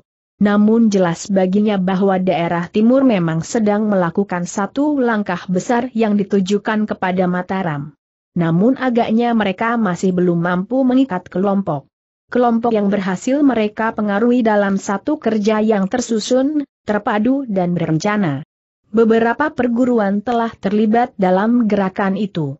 Namun mereka masih merasa saling terlepas, bahkan mereka telah bersaing untuk mendapat tempat yang paling baik. Satu di antara perguruan yang mencoba melakukan langkah yang paling berbahaya adalah perguruan Nagaraga, yang langsung memasuki istana Mataram dan berusaha menyingkirkan panembahan senapati pribadi. Menurut perhitungan mereka, tanpa panembahan senapati, Mataram tidak berarti apa-apa. Kisanak berkata Kiai Gringsing kemudian apakah kau dapat mengatakan kepadaku, di mana letak perguruanmu? Ketiga orang itu saling berpandangan sejenak. Nampaknya memang ada semacam keberatan untuk mengatakannya. Namun dalam pada itu Kiai Gringsing pun berkata jika sempat, biarlah aku singgah di padepokanmu. Mungkin aku dapat berbicara dengan gurumu. Bagus parapat yang bergelar Kiai Damar Murti. Satu gelar yang sangat menarik. Ketiga orang itu masih nampak ragu-ragu. Namun orang tertua di antara mereka pun, kemudian berkata kisana.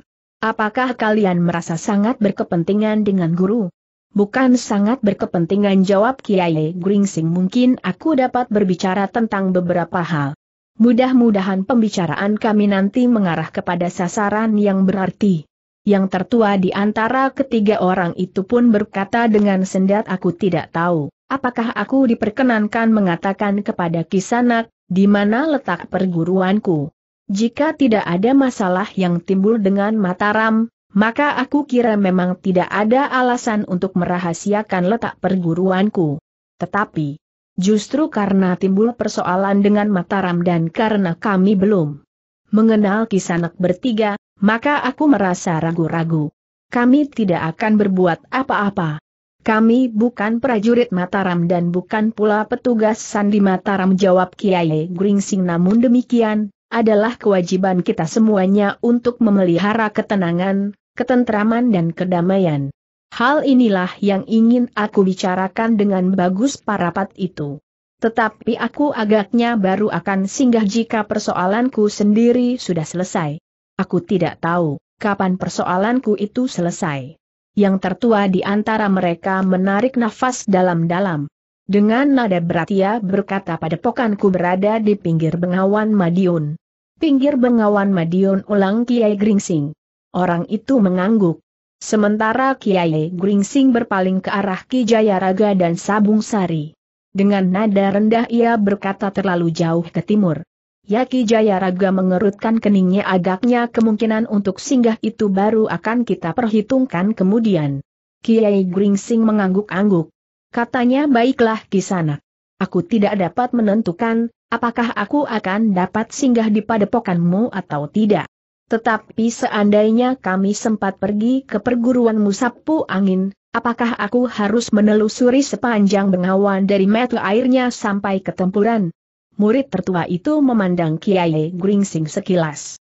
Namun kemudian sambil menunduk ia berkata lirih pada pokan itu berada di lingkungan hutan yang membujur di sepanjang bengawan itu. Hutan apa? Bukankah beberapa bagian hutan itu mempunyai nama desis Kiai Gringsing? Alas Prahara jawab murid tertua itu. Alas Prahara di pinggir bengawan Madiun wajah Kiai Gringsing menjadi tegang. Demikian Ki Jaya Ragadan. Sabung Sari. Agaknya Sabung Sari pun pernah mendengar nama itu. Kiai Gringsing dan Ki Jayaraga ternyata telah pernah memasuki hutan yang diberi nama Alas Prahara itu. Hutan yang berada di daerah yang agak rendah. Hampir setiap hari hutan itu dilanda angin yang besar. Dengan ragu-ragu Kiai Gringsing pun bertanya apakah sejak semula perguruanmu berada di sana, menurut ingatanku, Perguruan sapu angin tidak berada di dekat atau di lingkungan alas prahara itu, meskipun aku belum tahu pasti di mana tempatnya. Menurut keterangan yang pernah aku dengar berkata murid tertua itu pada pokan kami memang tidak berada di tempat itu. Namun justru untuk mencapai kebesaran ilmu seperti yang terdahulu, maka guru menganggap tempat itu adalah tempat yang paling baik bagi padepokan kami guru sedang menghimpun kembali segala macam kemungkinan sementara hidup kami berada di tengah-tengah kerasnya tiupan angin terutama menjelang sore hari. Baiklah berkata Kiai Gringsing agaknya pembicaraan kita telah cukup. Kami masih menunggu satu kemungkinan untuk dapat sampai kepada pokanmu. Tetapi aku tidak pasti, apakah aku akan sampai? Jadi ternyata Kisanak akan berjalan ke timur bertanya murid tertua dari perguruan sapu angin itu. Ya, tetapi sebaiknya kau pun kembali ke timur. Kau tidak perlu mencari jalan ke Mataram. Kesalahan-kesalahan yang pernah dibuat oleh orang-orang yang berlomba berebut nama seperti kalian, telah membuat Mataram semakin bersiaga. Tidak ada jalan yang dapat menembus kecermatan pengamatan Mataram sekarang ini. Karena itu, kembali sajalah ke alas prahara. Perdalam ilmumu dan kenalilah baik-baik watak angin yang keras di alas prahara itu. Apalagi di musim tertentu, di hutan itu sering bertiup prahara. Ketiga orang itu tidak segera menjawab. Tetapi di luar sadarnya mereka telah mengangguk-angguk. Sementara Kiai Gringsing berkata selanjutnya bukankah maksud gurumu memilih tempat itu juga untuk mendekatkan perguruan sapu angin dengan kekuatan angin yang hampir setiap hari berhembus dengan kuatnya sebagaimana kau katakan? Ketiga orang murid sapu angin itu mengangguk-angguk. Nah, jika kau sempat berpikir dengan jernih, kembalilah. Bekal yang kau bawa masih terlalu sedikit untuk memasuki Mataram. Seharusnya gurumu mengetahui akan hal itu. Tetapi agaknya ia menjadi tergesa-gesa. Mungkin setelah gurumu mendengar bahwa orang-orang dari perguruan Nagaraga justru telah memasuki istana meskipun mati terbunuh. Tetapi jika kau mau menerima dengan jujur keteranganku, sebenarnya lah orang-orang Nagaraga mempunyai kelebihan dari kalian. Mungkin jika kalian berhasil menangkap landasan kekuatan angin prahara sebagaimana sering bertiup di hutan itu, barulah bekalmu memadai. Namun masih terlalu sedikit bagi panembahan senapati sendiri berkata Kiai Gringsing. Ketiga orang itu tidak menjawab. Namun mereka pun memang merasa terlalu kecil dibandingkan dengan ketiga orang itu. Bahkan mereka justru mulai menduga, bahwa ketiga orang itu merupakan petugas-petugas sandi dari Mataram meskipun hal itu telah dibantah lebih dahulu oleh Kiai Gringsing. Dalam pada itu, maka Kiai Gringsing pun kemudian telah minta diri kepada Ki Demang. Ketika Kiai Gringsing sempat memandang wajah Ki Jagabaya yang pucat, maka ia pun berkata marilah, ikut kami. Ki Jagabaya menjadi gemetar. Dengan suara gagap ia berkata ke mana kalian akan pergi? Mencuri kambing jawab Ki Jayaraga dengan serta-merta. Ki Jagabaya menjadi semakin bingung. Namun kemudian sambil tertawa Ki Jayaraga berkata sudahlah. Jangan merajuk. Tetapi pengalaman ini agar kau ingat untuk selanjutnya. Jangan terlalu mudah menuduh dan apalagi menetapkan kesalahan orang lain kau dapat membayangkan, bagaimana jika hal seperti ini terjadi atasmu. Kau ditangkap karena dituduh melakukan kejahatan yang sebenarnya tidak pernah kau lakukan. Apalagi kau dengan tanpa ampun telah dijatuhi hukuman yang berat, sementara anak istrimu menunggumu di rumah. Ki Jagabaya menundukkan kepalanya. Tanpa disadarinya diamatinya tangannya yang terbakar. Nah berkata Ki Raga tanganmu akan segera sembuh. Tetapi mungkin akan tetap berwarna coklat kehitaman. Tetapi agaknya memang ada baiknya agar kau selalu ingat, apa yang pernah terjadi dengan tanganmu itu. Untunglah bukan hidungmu yang terbakar. Dan karena kedunguanmu, maka seorang telah menjadi korban. Aku minta maaf desis Ki Jagabaya kau dapat dengan mudahnya minta maaf geram sabung sari tetapi yang telah mati itu tidak akan dapat hidup kembali. Bahkan seorang penghuni kademangan ini pun hampir saja menjadi korban jika tidak segera mendapat pertolongan karena racun yang merembes ke dalam urat darahnya. Ki Jagabaya menjadi bingung. Apa yang sebaiknya dikatakannya? Namun karena itu, maka ia pun telah terdiam betapapun jantungnya terasa berdetak semakin cepat.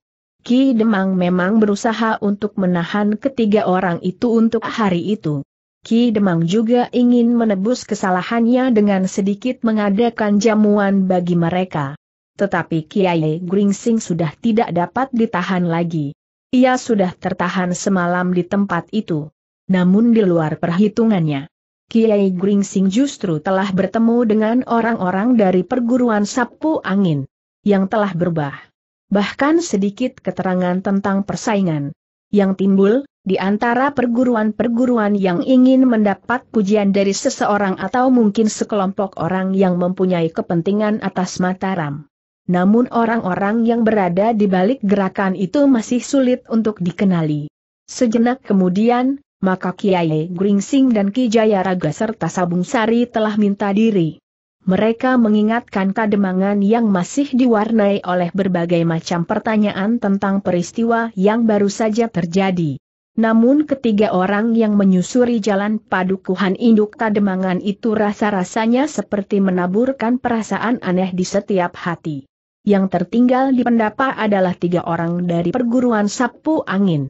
Betapapun mereka menyesali tingkah laku ketiga orang itu, sebagaimana pengakuan mereka, termasuk kambing yang mereka ambil, namun orang-orang kademangan itu juga tidak berani berbuat sesuatu orang-orang itu juga memiliki kelebihan. Bahkan orang-orang padukuhan itu menjadi cemas, bahwa sepeninggal orang-orang yang mula-mula telah ditetapkan bersalah itu, maka ketiga orang yang telah kehilangan seorang saudara seperguruannya itu akan melepaskan dendamnya. Tetapi ketiga orang itu ternyata tidak berbuat apa-apa. Bahkan di luar keinginan Ki Demang, ketiganya telah mengaku bahwa mereka memang tidak hanya bertiga. Mereka datang bersama beberapa orang yang dapat mereka pengaruhi untuk membantu tugas mereka. Jika sekelompok orang membuat kegelisahan, maka perhatian orang akan banyak tertuju kepada mereka, sehingga orang-orang sapu angin itu memperhitungkan, akan lepas dari perhatian orang di sepanjang perjalanan mereka dalam tugas yang mereka sandang. Mereka akan dapat mengamati setiap padukuhan, keadaan dan lingkungan yang mungkin akan dapat membantu atau dapat menjadi landasan pasukan yang akan menuju ke barat, sebagaimana pernah dilakukan oleh perguruan lain meskipun agak berbeda. Agaknya ketiga orang itu tidak cepat terpancing dalam sikap bermusuhan. Jika yang termuda di antara mereka telah membunuh Agaknya orang itu tentu masih belum memiliki tataran ilmu seperti kedua orang tua itu, sehingga ia tidak mempunyai cara lain untuk menghentikan perlawanan saudara seperguruannya selain dengan membunuhnya. Ilmu yang dipergunakan untuk membunuh saudara seperguruannya itu pun ternyata adalah ilmu yang dahsyat sekali. Seakan-akan dari sepasang mata orang yang paling muda itu telah memancar api dan membakar isi dada saudara seperguruannya. Demikianlah maka ketiga orang itu pun telah bersepakat untuk kembali ke padepokan untuk menemui guru mereka. Bagus Parapat yang bergelar Kiai Damar Murti. Ketiganya juga sudah bersepakat untuk mengatakan apa saja yang telah terjadi. Jika ketiga orang itu juga pergi ke timur, mungkin kita akan dapat bertemu lagi dengan mereka berkata murid tertua dari perguruan sapu angin itu. Tetapi kita tidak tahu Ke mana mereka akan pergi? Jawab yang kedua. Jika kita bertanya, maka aku yakin bahwa mereka tentu tidak akan menjelaskan berkata yang tertua. Agaknya mereka sedang mengemban tugas rahasia berkata yang kedua. Mungkin sekali berkata yang termuda tiba-tiba saja mereka telah muncul di sini. Agaknya Mataram memang sudah mengetahui kegiatan yang terjadi di bagian timur ini. Setidak-tidaknya telah timbul kecurigaan pada Mataram. Orang-orang yang pernah ditangkap di Mataram akan menjelaskan persoalannya meskipun mereka tidak mempunyai pengertian yang banyak tentang rencana ini dalam keseluruhan sebagaimana kita sendiri. Yang kita tahu, kita menjalankan tugas yang diberikan oleh guru. Apa yang dibicarakan oleh guru dan mereka yang berkepentingan langsung dengan Mataram sama sekali tidak kita ketahui yang tertua di antara mereka mengangguk-angguk. Katanya memang hampir meyakinkan bahwa mereka telah mendapat tugas dari Mataram untuk melihat-lihat gejolak di sisi timur ini. Namun jika ukuran orang Mataram rata-rata seperti mereka, apa yang dapat dilakukan oleh orang-orang di sisi timur ini? Perguruan kita dan perguruan-perguruan lain yang bergabung dalam satu ikatan kekuatan tidak akan berarti apa-apa. Apa pula yang dapat kita lakukan di hadapan pemimpin tertinggi di Mataram jika para petugas sandinya saja memiliki ilmu yang demikian tinggi? Kedua saudara seperguruannya mengangguk-angguk. Nampaknya Mataram memang sudah dibentengi dengan petugas-petugas sandi yang memiliki kemampuan yang tidak tertembus. Bahkan mereka akan semakin bergeser ke timur sehingga merekalah yang akan mengamati kegiatan di timur. Bukan orang-orang dari timur mengamati perkembangan dan kegiatan Mataram. Dengan demikian maka ketiga orang itu pun telah meninggalkan tugas mereka dan orang-orang yang sudah terlanjur berhubungan dengan mereka tanpa memberitahukan lebih dahulu. Ketika yang termuda bertanya tentang kelompok-kelompok orang yang akan mereka pergunakan itu, maka yang tertua menjawab mereka akan berpaling dengan sendirinya dari tugas-tugas yang telah kita serahkan kepada mereka. Aku yakin bahwa mereka tidak akan pernah merasa terikat dalam arti yang sebenarnya kepada kita. Saudara seperguruan yang kedua itu pun mengangguk-angguk pula. Lalu katanya baru kemarin. Rasa-rasanya kita mengadakan bujana Andrawina dengan mereka untuk mempererat ikatan di antara kita dengan mereka. Bahkan kita telah menyembelih seekor kambing muda yang gemuk. Ternyata langkah kita itu sekarang terasa sebagai langkah yang sesat. Kitalah yang lebih dahulu menarik diri dari keterikatan itu. Setelah kita mengorbankan seorang di antara kita desis yang termuda. Ya, itulah pertanda bahwa penalaran kita masih hidup, sahut yang tertua bersyukurlah kita bahwa kita belum berubah menjadi semacam memedi sawah untuk menakut-nakuti burung kita hanya dapat bergerak apabila tali-tali yang mengikat kita itu ditarik orang ia berhenti sejenak, lalu tetapi kita tidak demikian. Sesuatu masih mampu menyentuh perasaan kita sehingga sikap dan pandangan kita terhadap satu persoalan masih dapat berkembang. Ya murid yang kedua mengangguk aku sependapat. Perkembangan itu masih dapat menunjukkan bahwa kita masih tetap menyadari kedirian kita yang termuda pun mengangguk-angguk pula. Namun ia tidak mengatakan sesuatu. Ia masih perlu mencernakan pembicaraan kedua saudara seperguruan yang lebih tua itu. Namun akhirnya ia pun mengangguk-angguk pula. Kepada dirinya sendiri ia berkata ya. Beruntunglah bahwa aku masih berhak untuk menentukan sikapku sendiri. Jika hal itu sudah tidak terjadi padaku, maka hidupku benar-benar tidak berarti apa-apa lagi bagi diriku sendiri. Sebenarnya lah bahwa memang terasa ada sesuatu yang baru pada diri mereka. Bukan pada wujud lahiriah. Tetapi justru sikap batin mereka. Perjalanan ketiga orang bersaudara itu rasa-rasanya memang menjadi semakin cepat. Mereka masih harus menempuh perjalanan yang jauh lebih jauh dari ketiga orang yang telah menundukkan mereka dengan care yang tersendiri, meskipun seorang harus menjadi korban yang sebenarnya. Tetapi ketiga orang yang berjalan cepat itu ternyata tidak menyusul ketiga orang yang telah berangkat lebih dahulu itu. Sebenarnya lah bahwa Kiai Gringsing, Ki Jaya Raga dan Sabung Sari memang tidak tergesa-gesa. Tetapi mereka selain harus mendekati sasaran dan bergabung dengan para petugas yang lain, masih juga harus berusaha untuk mendengarkan dan melihat setiap kemungkinan untuk dapat mempertemukan mereka dengan Raden Rangga dan Gelagah Putih. Meskipun mereka masih belum pasti, apakah Raden Rangga dan Gelagah Putih telah mampu menemukan arah dari sasaran yang mereka cari. Namun agaknya ketiga orang itu percaya, bahwa pada akhirnya kedua anak muda itu akan dapat menemukan juga sehingga mereka akan menelusuri jalan menuju ke arah padepokan dari perguruan naga-raga. Karena itu, maka Kiai Gringsing, Ki Jaya Raga dan Sabung Sari justru lebih banyak berusaha untuk menjelajahi daerah di sekitar sasaran, sehingga memungkinkan mereka menemukan Raden Rangga dan Gelagah Putih.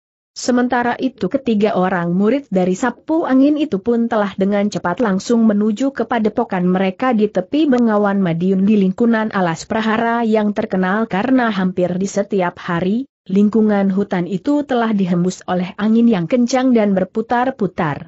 Namun dalam pada itu, di perjalanan kembali itu, Orang termuda di antara ketiga orang bersaudara seperguruan itu bertanya kepada saudara-saudara seperguruannya apakah kita akan langsung kembali?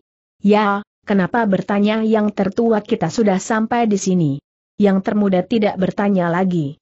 Ketika mereka menengadah ke langit, maka warna hitam mulai menyelubungi bumi, bintang satu-satu mulai bergayutan. Tetapi ketiga orang itu berjalan terus. Seakan-akan mereka tidak dapat membedakan lagi antara siang dan malam yang mulai turun.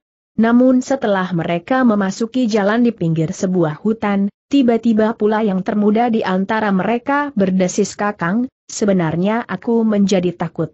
Takut kedua kakak seperguruannya bertanya hampir berbareng. Seorang di antara mereka berkata bagaimana mungkin kau dapat berkata begitu? Kita mengenal hutan ini seperti mengenali rumah kita sendiri. Kenapa kita menjadi takut?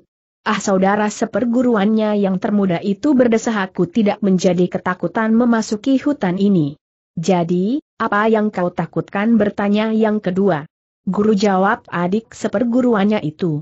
Kedua saudara seperguruannya itu menarik nafas dalam-dalam yang tertua pun kemudian berkata aku sudah menjadi cemas, bahwa kau tiba-tiba saja telah berubah sehingga kau merasa ketakutan untuk berjalan melalui hutan itu.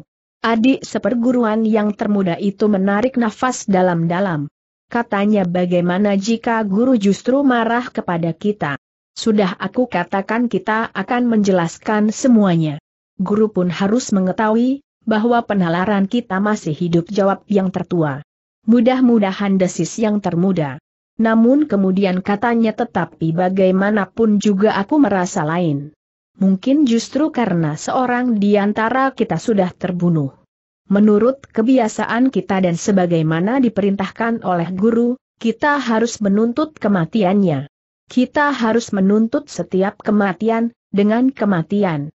Tetapi yang kita lakukan sekarang justru sebaliknya. Jawabnya memang mungkin dapat dicari pada penjelasan Kakang, bahwa ini adalah pertanda bahwa penalaran, kita tidak mati. Dan kita berharap, bahkan menurut Kakang, guru harus mengetahui. Apakah di hadapan guru kita dapat mengatakan, bahwa guru harus mengetahui hal ini? Kakak seperguruannya yang tertua menarik nafas dalam-dalam. Katanya memang kemungkinan itu dapat terjadi. Mungkin guru memang dapat bersikap lain. Tetapi kita harus berusaha meyakinkannya. Namun jika guru tetap pada sikapnya, maka kita akan berdiri di persimpangan. Saudara seperguruan yang termuda itu mengangguk-angguk kecil. Tetapi nampaknya pada kedua orang kakak seperguruannya itu benar-benar telah berkembang satu sikap yang berbeda. Bahkan mereka telah mengatakan, bahwa menghadapi perintah gurunya, mereka merasa berdiri di persimpangan. Tetapi yang termuda itu tidak bertanya lebih lanjut. Mereka kemudian berjalan sambil berdiam diri. Sekali-sekali mereka mendengar bunyi-bunyi yang aneh-aneh membuat kulit meremang. Kemudian suara binatang buas di kejauhan. Namun, meskipun kulit mereka meremang, tetapi bukan karena perasaan takut. Seandainya tiba-tiba saja mereka bertemu dengan tiga ekor harimau yang garang, mereka tidak akan gentar. Ternyata ketiga orang itu berjalan terus meskipun malam menjadi semakin malam. Rasa-rasanya mereka ingin segera sampai ke tujuan karena persoalan yang mereka bawa seakan-akan mendesak tanpa dapat dikekang lagi. Dengan demikian maka ketiga orang itu seakan-akan tidak mempunyai perasaan letih dan lelah. Untuk beberapa lama mereka menelusuri jalan di pinggir hutan. Namun kemudian mereka telah mengikuti jalan yang terpisah dari hutan itu. Semakin lama menjadi semakin jauh. Bahkan kemudian mereka telah memasuki jalan di tengah-tengah tanah persawahan. Namun mereka berusaha untuk menghindari jalan yang menusuk padukuhan, agar mereka tidak usah menjawab pertanyaan-pertanyaan orang-orang yang mungkin sedang meronda di gardu-gardu. Baru lewat tengah malam mereka beristirahat sejenak. Mereka sempat tertidur di antara pohon-pohon perdu di sebuah arah-arah terbuka. Menjelang dini hari, mereka sudah terbangun dan setelah mereka turun ke sungai dan berbenah diri, maka mereka mulai melanjutkan perjalanan mereka lagi. Dalam pada itu, yang termuda di antara mereka sempat juga berdesis di manakah kira-kira ketiga orang itu sekarang berada. Seperti kita jawab yang tertua mereka agaknya juga tidur di padang perdu atau di pategalan yang sepi atau di pinggir hutan. Apakah sebenarnya yang sedang mereka lakukan desis yang termuda itu pula mungkin mereka justru ada di sekitar kita sekarang? Mereka tidak akan mengikuti kita jawab yang kedua selain mereka telah berangkat lebih dahulu, agaknya mereka pun mengemban tugas yang penting. Jika tugas itu selesai, memang mungkin mereka akan pergi ke alas prahara. Yang termuda itu mengangguk-angguk. Sementara itu matahari pun mulai membayang. Mereka bertiga berjalan semakin jauh ke timur, menuju ke pinggir Bengawan Madiun. Belum tengah hari, maka mereka pun telah mendekati hutan yang memanjang. Hutan itu bukan hutan yang lebat pekat. Hutan itu merupakan hutan yang tipis di pinggir Bengawan Madiun, yang banyak disentuh tangan manusia. Selain orang yang mencari kayu, maka banyak pula orang yang mempunyai kegemaran berburu memasuki hutan itu tetapi mereka tidak menelusuri hutan itu sampai ke ujung. Di ujung hutan itu di arah utara, terdapat bagian yang berada di tanah yang lebih rendah, terhampar cukup luas. Bukit-bukit kecil seakan-akan memagari daerah itu. Agaknya karena itu maka hutan yang berada di tanah yang lekuk di dekat tempuran itu sering ditempuh angin yang keras yang seakan-akan berputar-putar. Bahkan kadang-kadang di musim hujan, putaran angin nampak menghitam bagaikan memanjat ke langit. Pepohonan yang terdapat di bagian hutan yang disebut alas prahara itu pun tumbuh dengan bentuknya tersendiri. Dahan-dahannya bagaikan berputaran pula. Ranting-rantingnya saling membelit. Pokok batangnya meliuk-liuk tidak menentu. Meskipun demikian, di hutan itu terdapat banyak pohon-pohon raksasa yang wujudnya membuat kulit tubuh meremang. Sedangkan di bawah pohon-pohon raksasa itu kadang-kadang terdapat metu air yang mengalir deras, menyusuri tempat-tempat yang lebih rendah dan kemudian terakhir turun ke bengawan. Di lingkungan itulah, tetapi di luar daerah yang berbahaya karena prahara dan keleret tahunnya yang dahsyat, terdapat sebuah padepokan yang terletak di atas gumuk kecil yang agak luas. Beberapa orang padukuhan yang letaknya agak jauh sudah memperingatkan bahwa daerah itu adalah daerah yang berbahaya. Tetapi padepokan itu berdiri juga. Pemimpin padepokan itu memang sengaja untuk membuat padepokannya di lingkungan yang dekat dengan angin dan prahara. Terima kasih atas peringatan kalian berkata pemimpin padepokan itu kepada orang-orang padukuhan tetapi biarlah kami memanfaatkan tanah yang kosong, yang tidak akan dipergunakan oleh siapa pun juga itu. Apalagi tanah itu berada di luar jangkauan angin dan prahara. Tidak kisanak berkata orang-orang padukuhan yang sudah mengamati angin dan prahara itu bertahun-tahun kadang-kadang angin dan keleret tahun itu sampai juga ke atas dataran gumuk itu meskipun jarang. Tetapi, bukankah lebih baik kalian berada di luar sama sekali dari daerah yang sering tersentuh angin dan prahara itu? Dengan hati-hati pemimpin padepokan itu berusaha menjelaskan, bahwa angin di atas gumuk itu tidak sekencang angin yang sering memutar pepohonan di dalam hutan. Sebenarnya lah bahwa padepokan itu tidak juga disapu oleh angin dan prahara. Sekali-sekali memang datang angin kencang menyentuhnya. Tetapi tidak menghancurkannya. Apalagi pada saat padepokan itu dibuat, Pemimpin padepokan itu pun sudah memperhitungkan kemungkinan datangnya angin yang lebih keras dari angin sewajarnya. Namun di padepokan itu, pemimpin padepokan yang menyebut dirinya Damar Murti itu memang sempat mengamati watak angin dengan saksama. Tetapi padepokan itu memang sudah bernama Sapu. Angin sejak belum berada di tempat itu. Sapu Angin adalah nama perguruan yang diwarisi oleh Bagus Parapat dan kemudian bergelar Damar Murti. Demikianlah tiga orang murid perguruan Sapu Angin itu menuju ke padepokan yang terletak di daerah terpencil itu, meskipun padepokan itu tidak terpisah dari pergaulan dengan padukuhan-padukuhan yang letaknya memang agak jauh dari tempat itu hubungan antara penghuni padepokan itu dengan penghuni padukuhan-padukuhan itu termasuk baik. Meskipun demikian orang-orang padukuhan itu tidak tahu dengan pasti, siapa saja yang telah dilakukan oleh penghuni padepokan itu di luar penglihatan mereka. Ketiga orang murid sapu angin itu kemudian menelusuri tepi hutan. Namun mereka menghindari alas prahara meskipun keadaannya nampak tenang, karena sewaktu-waktu angin itu datang dengan kencangnya. Meskipun orang-orang padepokan sapu angin telah mencoba untuk mengenali watak angin serta mengamati kapan angin itu datang dan kapan pergi, namun sekali-sekali terjadi pula penyimpangan, sehingga tiba-tiba saja prahara itu datang di luar perhitungan. Namun akhirnya, ketiga orang itu pun telah mendekati padepokan mereka. Sebuah padepokan yang terletak di atas sebuah gumuk yang tidak terlalu tinggi. Bagaimanapun juga ketiga orang murid sapu angin itu menjadi berdebar-debar.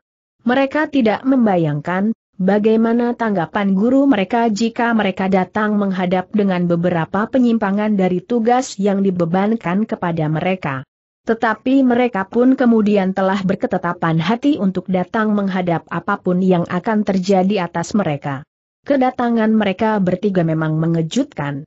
Dengan tergesa-gesa seorang cantrik menyongsong mereka sambil bertanya apakah kalian sudah selesai? Menurut pendengaranku, kalian mendapat tugas yang mungkin akan memerlukan waktu yang lama. Yang tertua di antara mereka menjawab lama menurut pengertianmu mungkin berbeda dengan lama menurut pengertian guru. Aku sudah terlalu lama pergi. Bahkan mungkin dianggap terlalu lama dibandingkan dengan tugas dan beban yang diberikan kepadaku. Cantrik itu mengerutkan keningnya. Namun kemudian ia masih juga bertanya tetapi kenapa kalian hanya bertiga? Tidak apa-apa jawab yang tertua di antara mereka bertiga. Lalu ia pun kemudian bertanya apakah guru ada? Ada jawab cantrik itu marilah. Apakah kalian akan menghadap? Ya jawab yang tertua. Apakah kalian akan beristirahat dahulu, baru nanti kalian menghadap bertanya cantrik itu. Cukup bentak murid tertua itu kau jangan banyak bicara. Aku ingin menghadap sekarang. Ob cantrik itu bergeser surut. Ia memang menjadi ketakutan melihat murid tertua itu marah. Beritahukan kepada guru, bahwa kami akan menghadap. Di mana guru akan menerima kami. Kecuali jika guru memerintahkan kami untuk menunggu sampai nanti berkata yang tertua itu agak keras. Baik. Baik suara cantrik itu gemetar aku akan memberitahukannya.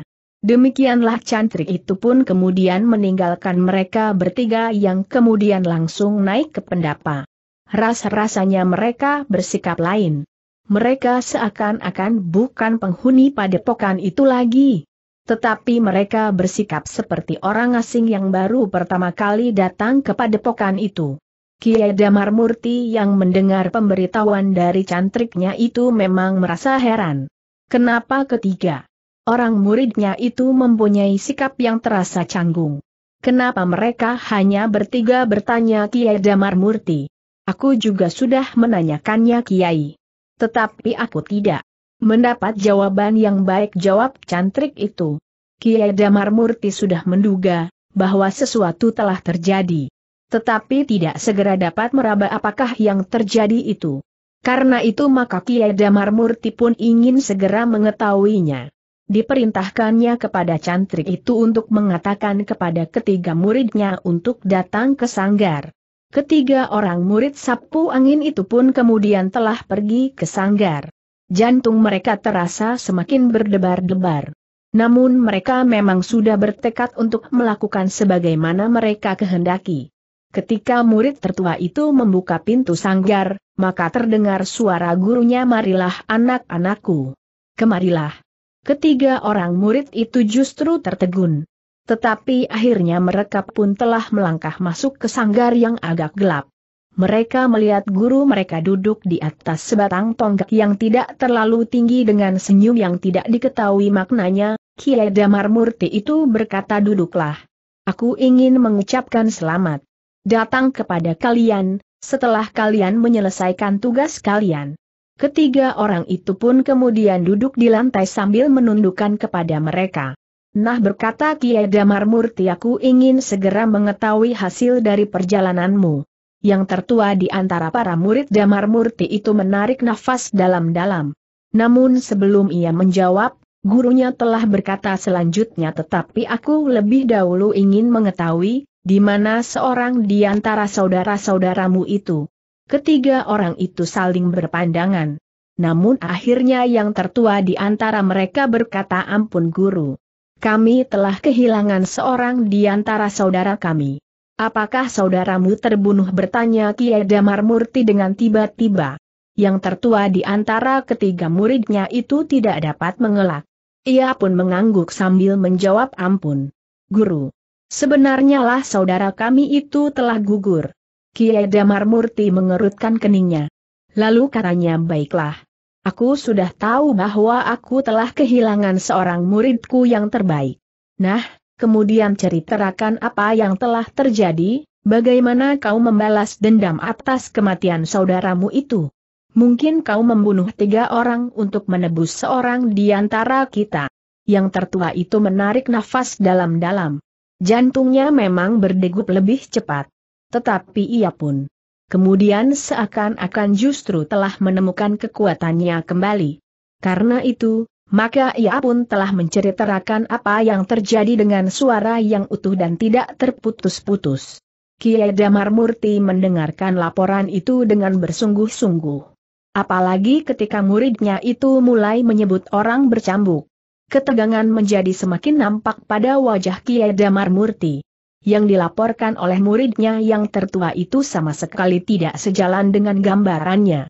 Bahkan kemudian Kiai Damar Murti itu mendengar, bahwa ketiga orang muridnya itu sama sekali tidak berusaha berbuat apa-apa sepeninggal saudara seperguruannya. Jadi kalian begitu saja menyerah bertanya Kiai Damar Murti.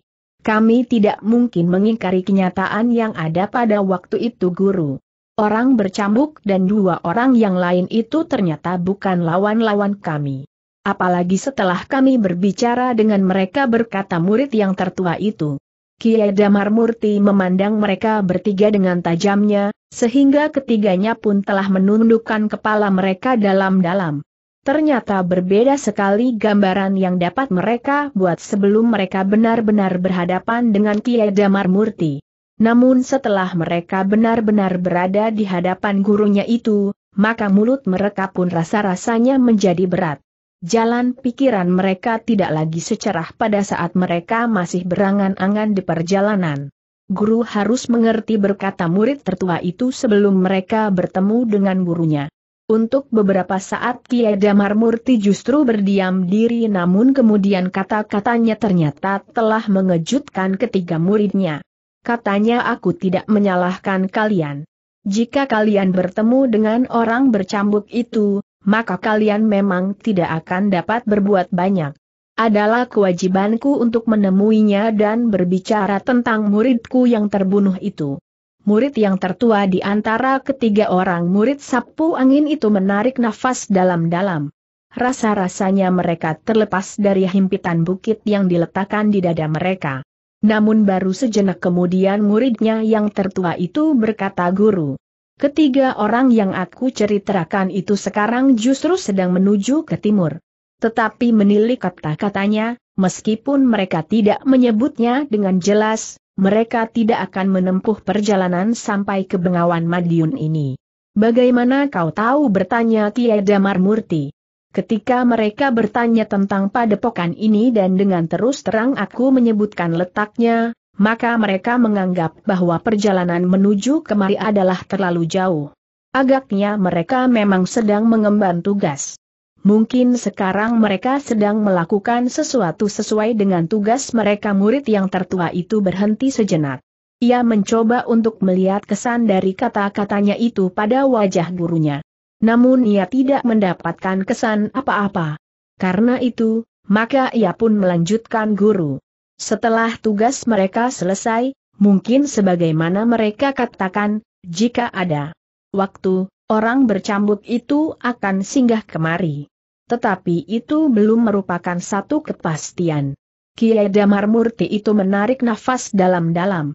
Dengan nada dalam ia berkata aku memang ingin menemuinya orang itu yang datang kemari, atau aku yang harus mencarinya.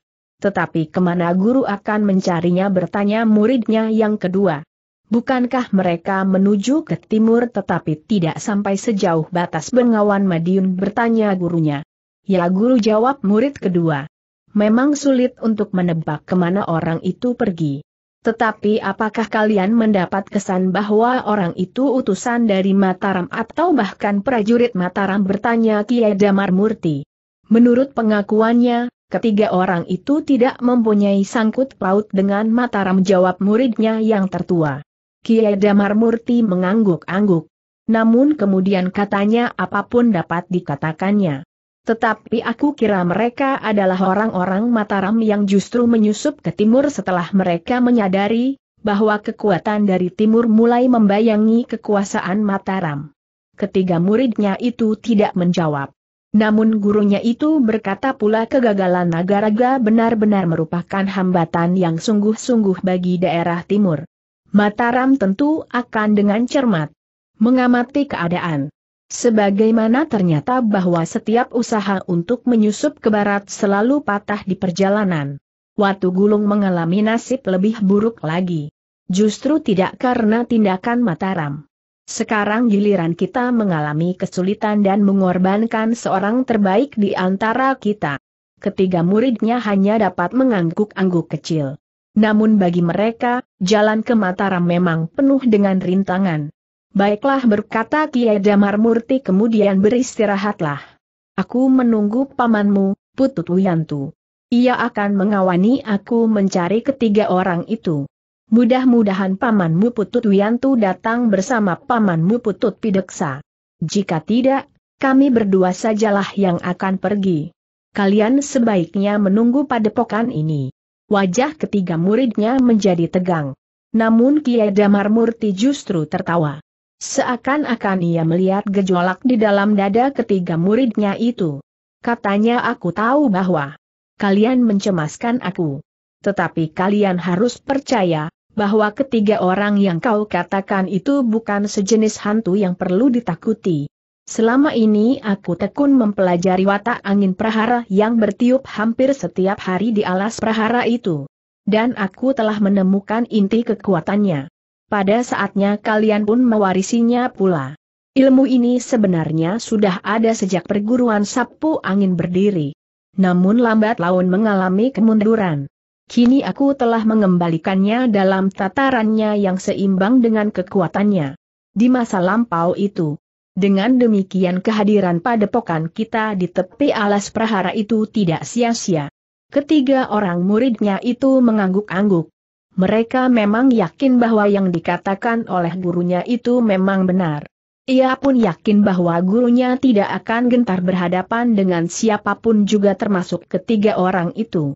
Apalagi ketiga orang masih belum dapat dilihat puncak dari kemampuan mereka selain seorang di antaranya mampu menyerang lawannya dengan sorot matanya. Sedangkan kemampuan cambuk yang merupakan senjata salah seorang dari kedua orang tua di antara mereka itu pun masih belum merupakan imbangan yang mencemaskan bagi gurunya. Demikian pula kemampuan orang tua yang lain untuk membakar tali pengikat tangannya. Jika benar guru mampu melepaskan kekuatan angin prahara, maka ketiga orang itu memang akan dapat disapunya berkata ketiga orang murid itu di dalam hatinya.